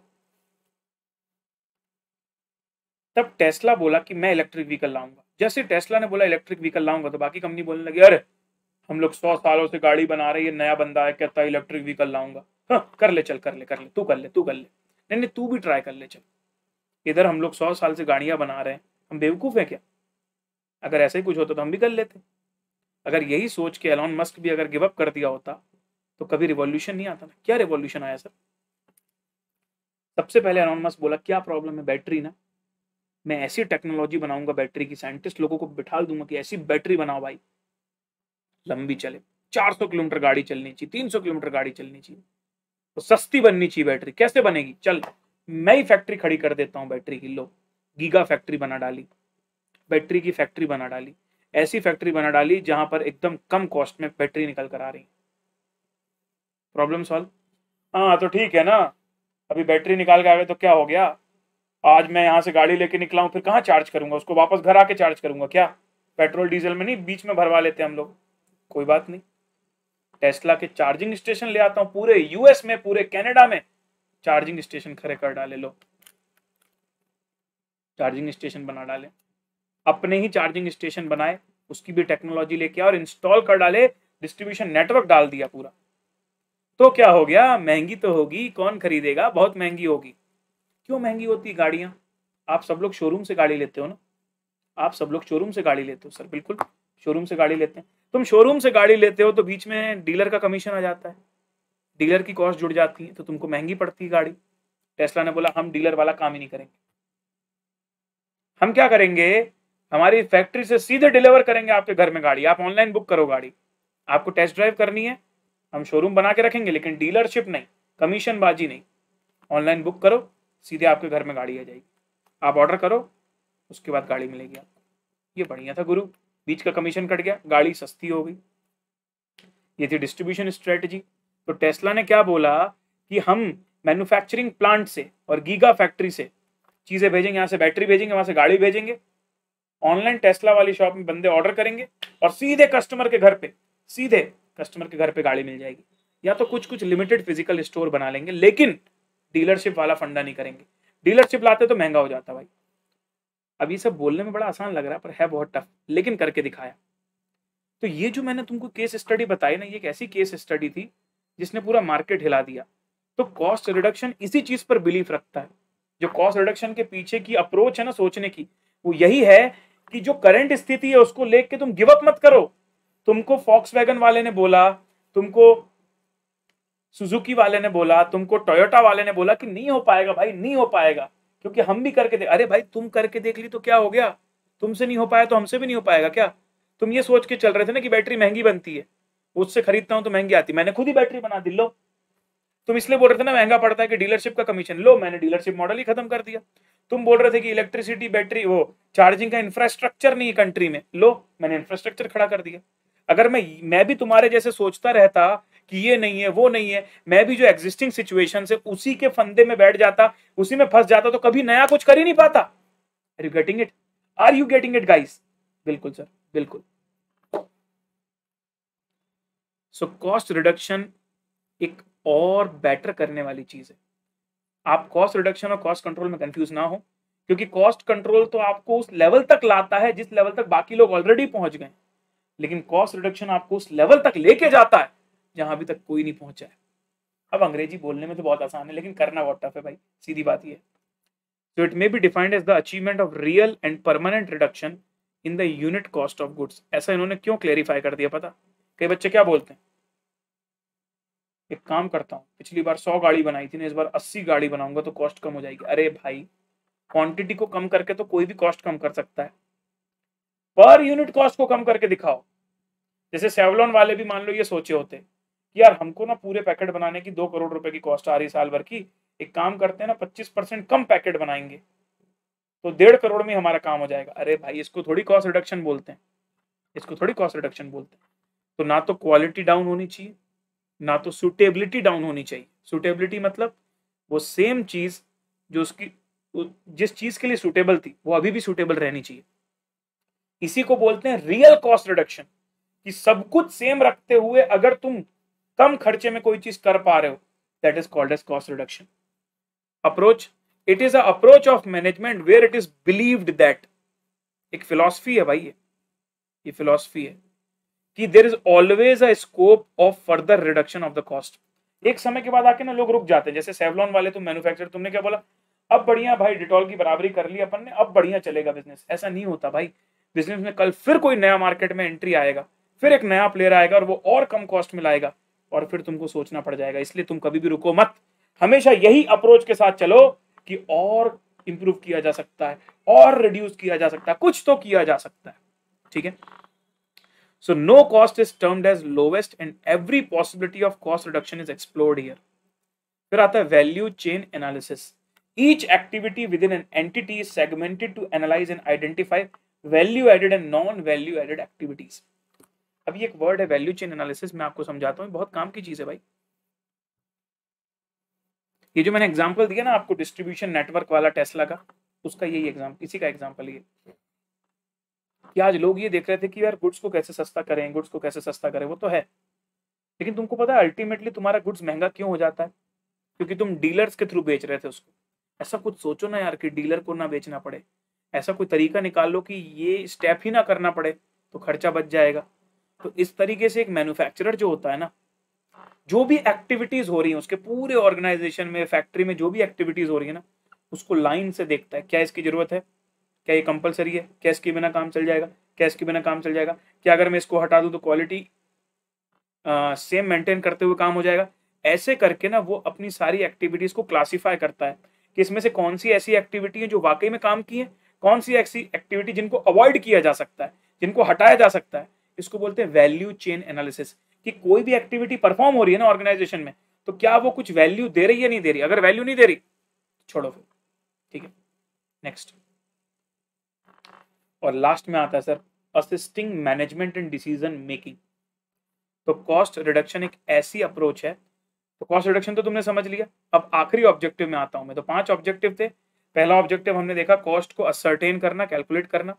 दूसरा, हमने देखा कि कैसे सेलिंग प्राइस डिटरमाइन की जाती है, कैसे प्रॉफिटेबिलिटी डिटरमाइन की जाती है। कॉस्ट कंट्रोल क्या होता है? कॉस्ट रिडक्शन क्या होता है? और कैसे? अब आखिरी पॉइंट पढ़ूँगा कि कैसे कॉस्टिंग जो है वो मैनेजमेंट को हेल्प करता है डिसीज़न मेकिंग देखो भाई कॉस्टिंग जो सब्जेक्ट है ना, वो इन्फॉर्मेशन प्रोवाइड करता है आपको कि आपके पर्टिकुलर डिपार्टमेंट का कितना खर्चा आ रहा है, आपके पर्टिकुलर ऑब्जेक्ट का कितना खर्चा आ रहा है प्रोडक्ट का कितना खर्चा आ रहा है। इस कस्टमर को अगर हम डिलीवर कर रहे हैं तो वो कस्टमर हमको कितने का पड़ रहा है? समथिंग लाइक दिस तो बहुत सारी valuable information regarding the cost is supplied to the management और जब मैनेजमेंट कोई भी डिसीज़न लेता है ना तो वाकई में यार कॉस्ट मतलब पैसा लागत ना तो उसको तो बहुत इंपॉर्टेंस दी ही जाती है। बाकी भी एस्पेक्ट होते हैं, लेकिन कॉस्ट को बहुत ज़्यादा इज़्ज़त दी जाती है। तो cost and management accounting by providing the relevant information वो हेल्प करता है मैनेजमेंट को प्लान करने में इंप्लीमेंट करने में मेजर करने में। आज फॉर एग्ज़ाम्पल तुमने कोई नई ब्रांच खोली तुम्हारे बिज़नेस की। तो पिछली वाली ब्रांच से जो तुमने सीखा ना, वो गलतियाँ तुम अगली ब्रांच में नहीं करोगे। उसी तरह अगर तुमने पिछले कॉन्ट्रैक्ट्स में कुछ गलतियाँ करी, उसमें यहाँ पर कॉस्ट ज़्यादा लग गई थी, तुमने ये गलती कर दी थी तो अगले वाले प्रोजेक्ट में वो गलती नहीं करोगे। तो वो इन्फॉर्मेशन अगर मेरे पास अवेलेबल होगी, तभी तो मैं अगली बार और बेटर तरीके से इंप्लीमेंट कर पाऊँगा उस चीज़ को, ठीक है? चलो तो एक रोबस्ट कॉस्ट और मैनेजमेंट अकाउंटिंग सिस्टम जो होता है, वो सिर्फ़ और सिर्फ़ इंटरनल चीज़ें प्रोवाइड नहीं करता एक्सटर्नल डेटा भी प्रोवाइड करता है। मतलब आपको आपका कॉस्ट मैनेजमेंट अकाउंटिंग सिस्टम ऐसा लाना है कि वहाँ जुगाड़ भी हो सके। जुगाड़ हो सके मतलब कुछ ऐसा तरीका लाओ यार कि हमें इंडस्ट्री में क्या बेस्ट चल रहा है ये भी पता चले। आज हम तो कर रहे हैं 120 को 110 ला रहे हैं बट बाद में हमको पता चला रहे यार बाकी लोग तो अस्सी रुपए में कर रहे हैं तो मैं तो भाई गलती कर रहा हूँ। इसलिए हमको एक्सटर्नल चीज़ें भी पता होनी चाहिए। राइट एवरीवन ट्रू सर फिर से आप सभी लोगों को एक बात बताना चाहता हूँ मैं। ये चल रहा है बेसिक्स और जैसा कि मैंने बोला था स्टार्टिंग में कॉस्टिंग थोड़ा सा पेनफुल लग सकता है। लेकिन चिंता मत करिए सर। इवेंचुअली आपको मैं इस सब्जेक्ट से प्यार करवा के रहूँगा। तो अब जो हमने कॉस्ट कंट्रोल और कॉस्ट रिडक्शन पढ़ा है ना, उन दोनों के बीच में डिफरेंस समझेंगे। एक बार मैं फिर से आपको समझाता हूँ cost control versus cost reduction देखो भाई, आपकी बॉटल वन ट्वेंटी रुपीज़ की बन रही थी सेवलॉन की। फिर आपने बोला कि नहीं, मेरे को डिटॉल से कम्पीट करना है तो आप कॉस्ट प्राइस को लेके आए एटी में। बताओ, यहाँ से यहाँ तक लाना जो है आपका, ये कॉस्ट की कंट्रोलिंग कहलाई कॉस्ट कंट्रोल कहलाया कॉस्ट रिडक्शन कहलाया बताइए।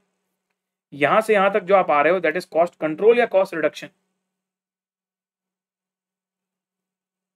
that is cost control क्योंकि अभी तक तो तुम कहाँ तक ला पाए हो? इंडस्ट्री के बराबर ला पाए हो इंडस्ट्री के स्टैंडर्ड तक पहुँच पाए हो। अभी तुमने कुछ खास करके थोड़ी दिखाया जो बाकी नहीं कर पाए थे। अब कल को अगर तुम इसको 80 से 74 भी ले आते हो ना, और डिटॉल अभी भी 80 में बैठा हुआ है मतलब ज़रूर तुमने कुछ ऐसी मेहनत करी जो कोई और नहीं कर पाया। तो वो कहलाएगा कॉस्ट रिडक्शन तो जहाँ कॉस्ट कंट्रोल खत्म होता है ना, वहाँ से कॉस्ट रिडक्शन शुरू होता है।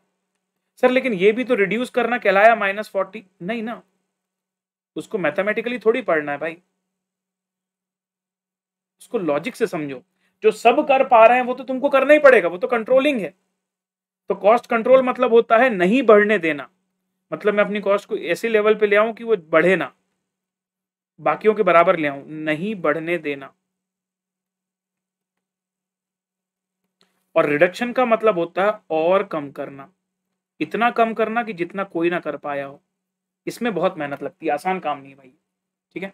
तो चलो भाई, अब अपन लोग एक बार डिफरेंस बिटवीन पढ़ लेते हैं। अच्छा मैं आपको बता दूँ।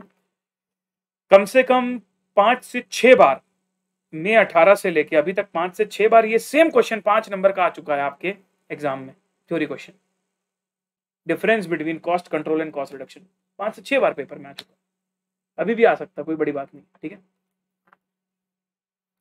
तो cost control aims at maintaining the cost 80 तक रखना मार्केट से बाहर नहीं होना तो 80 तक रखना पड़ेगा।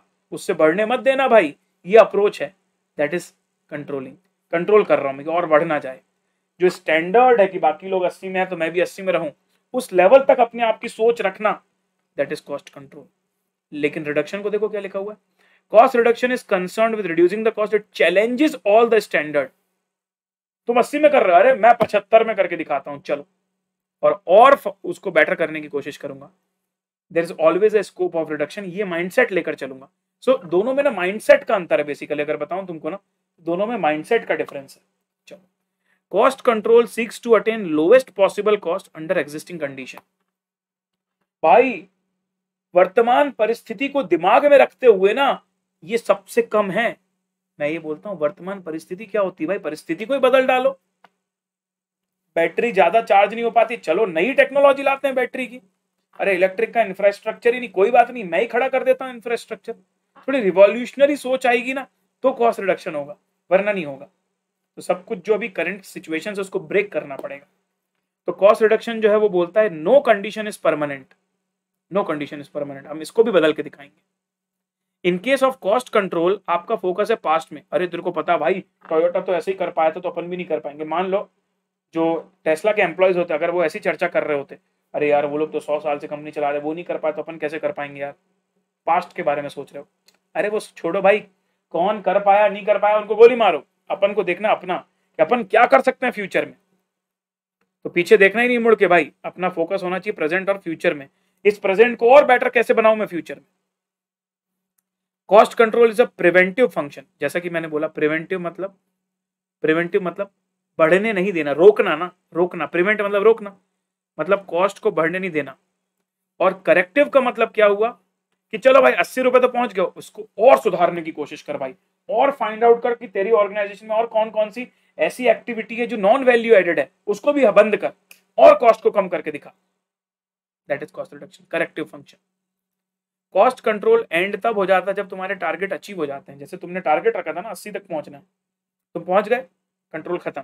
अब कोई प्रॉब्लम नहीं कंट्रोल्ड है तुम्हारी कॉस्ट लेकिन कॉस्ट रिडक्शन का कोई विजिबल एंड नहीं है, कोई विजिबल एंड नहीं है। तो कॉस्ट कंट्रोल जहाँ खत्म होता है कॉस्ट रिडक्शन वहाँ से शुरू होता है और उसका अंत कहीं नहीं है। समझे क्या सारे लोग भाई?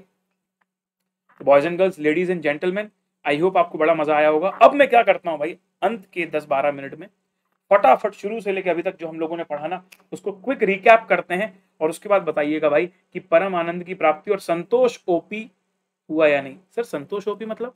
संतोष मतलब सेटिस्फेक्शन तो अगर तुमको पढ़ के ऐसा लग रहा हो कि you are satisfied with what I told you what I delivered you then you can write Santosh OP ठीक है? चलो सर। तो हम लोग पढ़ रहे थे sir introduction and basics of costing सबसे पहले मैंने आपको बताया कि कोई भी चीज़ जिसकी कॉस्ट मतलब कोई भी चीज़ अगर तुम खरीद रहे हो, कोई भी चीज़ बना रहे हो, कोई भी चीज़ तुम सर्विस दे रहे हो तो उसको करने में तुम्हें कितना पैसा लग गया? That is cost amount of resources given up in providing something costing का मतलब होता है उस चीज़ को कैलकुलेट करना। कि कॉस्ट कॉस्ट तो वो फाइनल आउटपुट है। जो वैल्यू है वो कॉस्ट है। लेकिन वो कैलकुलेट कैसे करनी है उस पूरी प्रोसेस को बोलते हैं कॉस्टिंग फिर आता कॉस्ट लीडरशिप तो मैंने आपको एक पूरा आ, बोल सकते हैं केस स्टडी दिया डी मार्ट का। कुछ ऐसे पॉइंट्स बताया जिसकी वजह से डी मार्ट कॉस्ट लीडर बन पाया। तो every organisation wants to be cost leader यार। तो क्या आप इस बात को समझ पा रहे हैं कि yes cost and management accounting का सिस्टम अच्छा होना ज़रूरी है एक ऑर्गेनाइजेशन राइट नेक्स्ट पाँच ऑब्जेक्टिव हमने कॉस्ट अकाउंटिंग के पढ़े सर सबसे पहला पढ़ा असर्टेनमेंट ऑफ़ कॉस्ट कि कैसे कॉस्ट को असर्टेन किया जाए। असर्टेन मतलब कैलकुलेट करना। तो हम चीज़ों को इकट्ठा करते हैं इन्वॉइसेस फिर असाइन करते हैं, फिर कैलकुलेट कर लेते हैं टोटल करके। वो बड़ी चीज़ नहीं है। फिर हमने देखा कि भाई कॉस्ट कंट्रोल सिस्टम जो होता है cost accounting system selling price को डिटरमाइन करने के लिए भी उसका बहुत बड़ा यूज़ है कि कॉस्ट अकाउंटिंग सिस्टम होगा, तभी तुम पता कर पाओगे कि तुम्हारा प्रोडक्ट कितने रुपए में बना और जब पता कर पाओगे कितने रुपए में बना है, तभी तो पता कर पाओगे कि कितने में बेचना है। सिमिलरली प्रॉफिटेबिलिटी के लिए भी सिमिलरली निगोसिएशंस करने के लिए भी बहुत काम की चीज़ है। ये बिल्कुल सर। फिर आते हैं सर कॉस्ट कंट्रोल में। कॉस्ट कंट्रोल के अंदर हमने देखा सर कि कैसे हम बेसिक लेवल तक, जहाँ पर बाकी लोग तो पहुँच चुके हैं, वहाँ तक अपनी कॉस्ट को नीचे लेके आना कंट्रोलिंग में रखना। कंट्रोल मतलब स्टैंडर्ड्स के हिसाब से ऊपर नहीं बढ़ने देना। दैट इज़ कंट्रोलिंग तो जिसके अंदर आप स्टैंडर्ड सेट करते हो, फिर एक्चुअल मेजर करते हो, फिर दोनों को कंपेयर करते हो, अगर गैप मिला तो उस गैप के बारे में सोचते हो कि क्या रीजन हो सकते हैं और उस पर इंप्रूवमेंट करने की कोशिश करते हो एक्शन लेते हो। और रिडक्शन तो सर अलग चीज़ हो गई। जब कॉस्ट कंट्रोलिंग तुम्हारी हो गई, अब तुम अच्छा तुम्हारा काम चल रहा है, बढ़िया। अब तुम और बेटर होना चाहते हो। अब तुम मार्केट के लीडर बनना चाहते हो। अब तुम कॉस्ट लीडर बनना चाहते हो।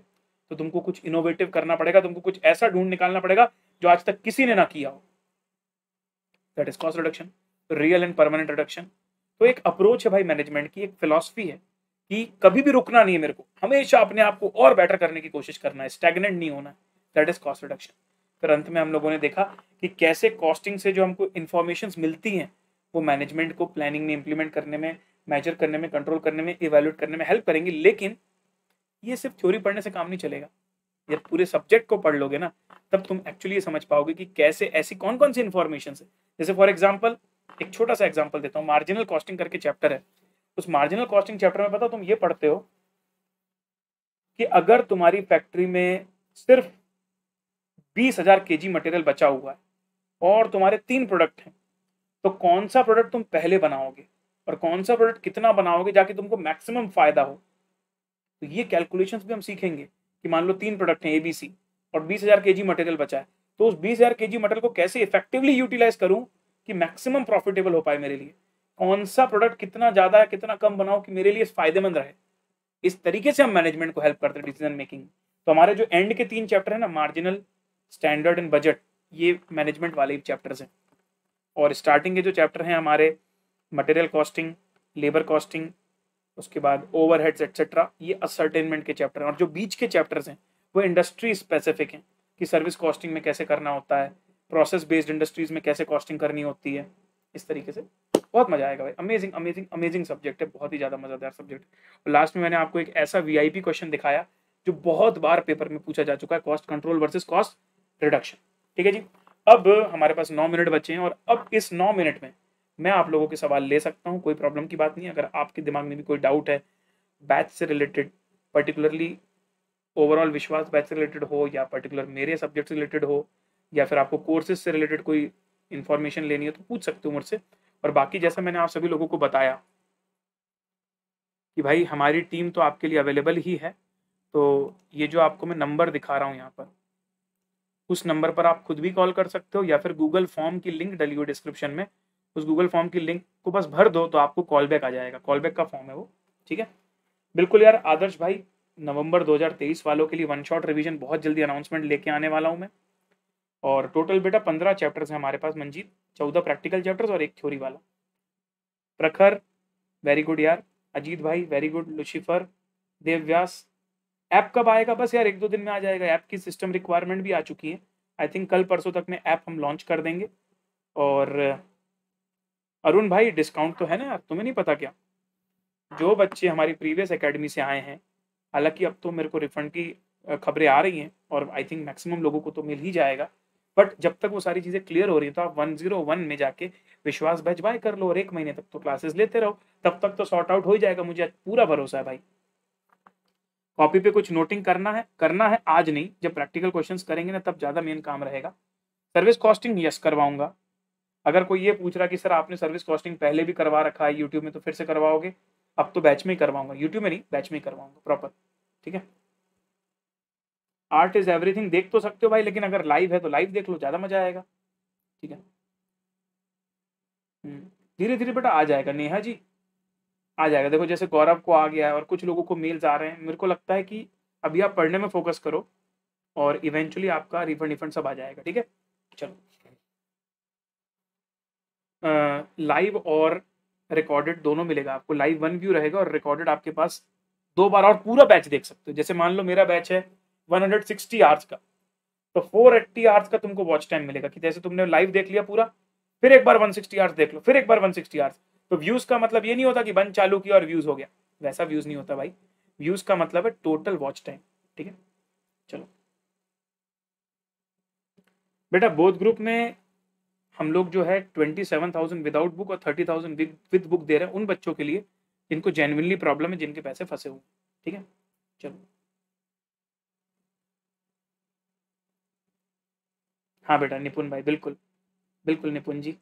निपुण जी, आप भी अपना एक्सपीरियंस बता दीजिए कि नवंबर ट्वेंटी थ्री का बैच कैसा रहा था और आपको मज़ा आया था या नहीं, है ना जी? चलो। आर्ट इज़ एवरीथिंग देख तो सकते हो, लेकिन देर आर फ्यू चेंजेस तो मैं रिकमेंड तो यही करूँगा कि लाइव कर लो, लेकिन फिर भी अगर तुम्हें देखना है तो बाद में अमेंडमेंट जो है जनवरी में थोड़ा सा देखना पड़ेगा तुमको, बाकी कोई प्रॉब्लम नहीं है, कर सकते हो। तो ये टाइम टेबल है भाई, कल भी आपकी क्लासेस होंगी, जैसा कि हमने बताया फ़र्स्ट टेन क्लासेस यूट्यूब पर हो रही हैं। बढ़िया तरीके से आप देखिए। अच्छे से क्वालिटी को जज करिए, कोई प्रॉब्लम नहीं है। और अपना फीडबैक भी दीजिए। आपको आज की क्लास कैसी लगी ये भी मुझे बताइएगा। और क्या हम इम्प्रूव कर सकते हैं ये भी बताइएगा। तो कल वापस से, कल तो मैं नहीं मिलूँगा। कल सैटरडे है ना, कल आपको एमवी सर मिलेंगे। मैं वापस मंडे को मिलूँगा आपको। तो मेरे डेज़ हैं मंडे वेडनेसडे फ्राइडे और MV sir Tuesday Thursday Saturday बाकी टाइम टेबल तो मैंने आपको बता ही दिया था। है ना जी? कि nine A M to eleven thirty M Tejas sir for advance accounting eleven forty five to one forty five law का है, जिसमें साइमल्टेनियसली दीपिका मैम भी लाइव रहेंगी और आई जी सर भी लाइव रहेंगे। और फिर लंच ब्रेक फिर two forty five P M से फाइव फिफ्टीन तक Vivek Gaba sir for taxation और Monis Vora sir Tuesday Thursday Saturday और एफ़ एम एस एम और प्रणव मतलब मैं costing five thirty to seven thirty same time मैं तीन दिन हफ़्ते में और तीन दिन एमवी सर हफ़्ते में। मैं मंडे वेडनेसडे फ्राइडे और MV sir Tuesday Thursday Saturday ठीक है जी? चलो। नहीं पॉज करने से वॉच टाइम काउंट नहीं होता बेटा। एक्चुअल में वॉच करने से काउंट होता। मैं तुमको ये बता रहा हूँ जो भी हम दे रहे हैं ना, कोई रेस्ट्रिक्शन नहीं है। तुम उसको यूज़ भी नहीं कर पाओगे। तुम ज़बरदस्ती का ना, वो क्या है, तुम्हारा ऐसा माइंड में परसेप्शन बन गया, इसलिए तुम लोड ले रहे हो। एक्चुअली ऐसा है ही नहीं। इंडस्ट्री में हर जगह जाके देख लो तुम 1.5 या 1.8 दिए जाते हैं। हम तो थ्री व्यूज़ दे रहे हैं। तो चिंता मत करो तुम लोग, बिल्कुल भी, ठीक है? ओके जी वेरी गुड पहली बार आपको शर्ट में देखा। कैसा लग रहा हूँ मैं शर्ट मज़ा आया? ठीक है, चलो। तो यार इस वीडियो को मैक्सिमम लोगों तक पहुँचाएँगे आप लोग। आपके जो भी फ्रेंड्स हैं जो प्रीवियस एकेडमी में हैं। जो अभी भी लोड ले रहे हैं, उनको ये समझाओ भाई कि देखो इनिशिएशन तो हो गया रिफंड्स का तो हो जाएँगे रिफंड्स अभी पढ़ने में ध्यान दे सारे लोग तो लिंक्स को मैक्सिमम लोगों तक पहुँचाएँ। ठीक है जी? और अगर आपको सेशन अच्छा लगा हो तो आप फीडबैक जो है दूसरों को भी दें, और मुझे भी बताएँ कि हम सेशन में क्या इंप्रूव कर सकते हैं। ठीक है एवरीवन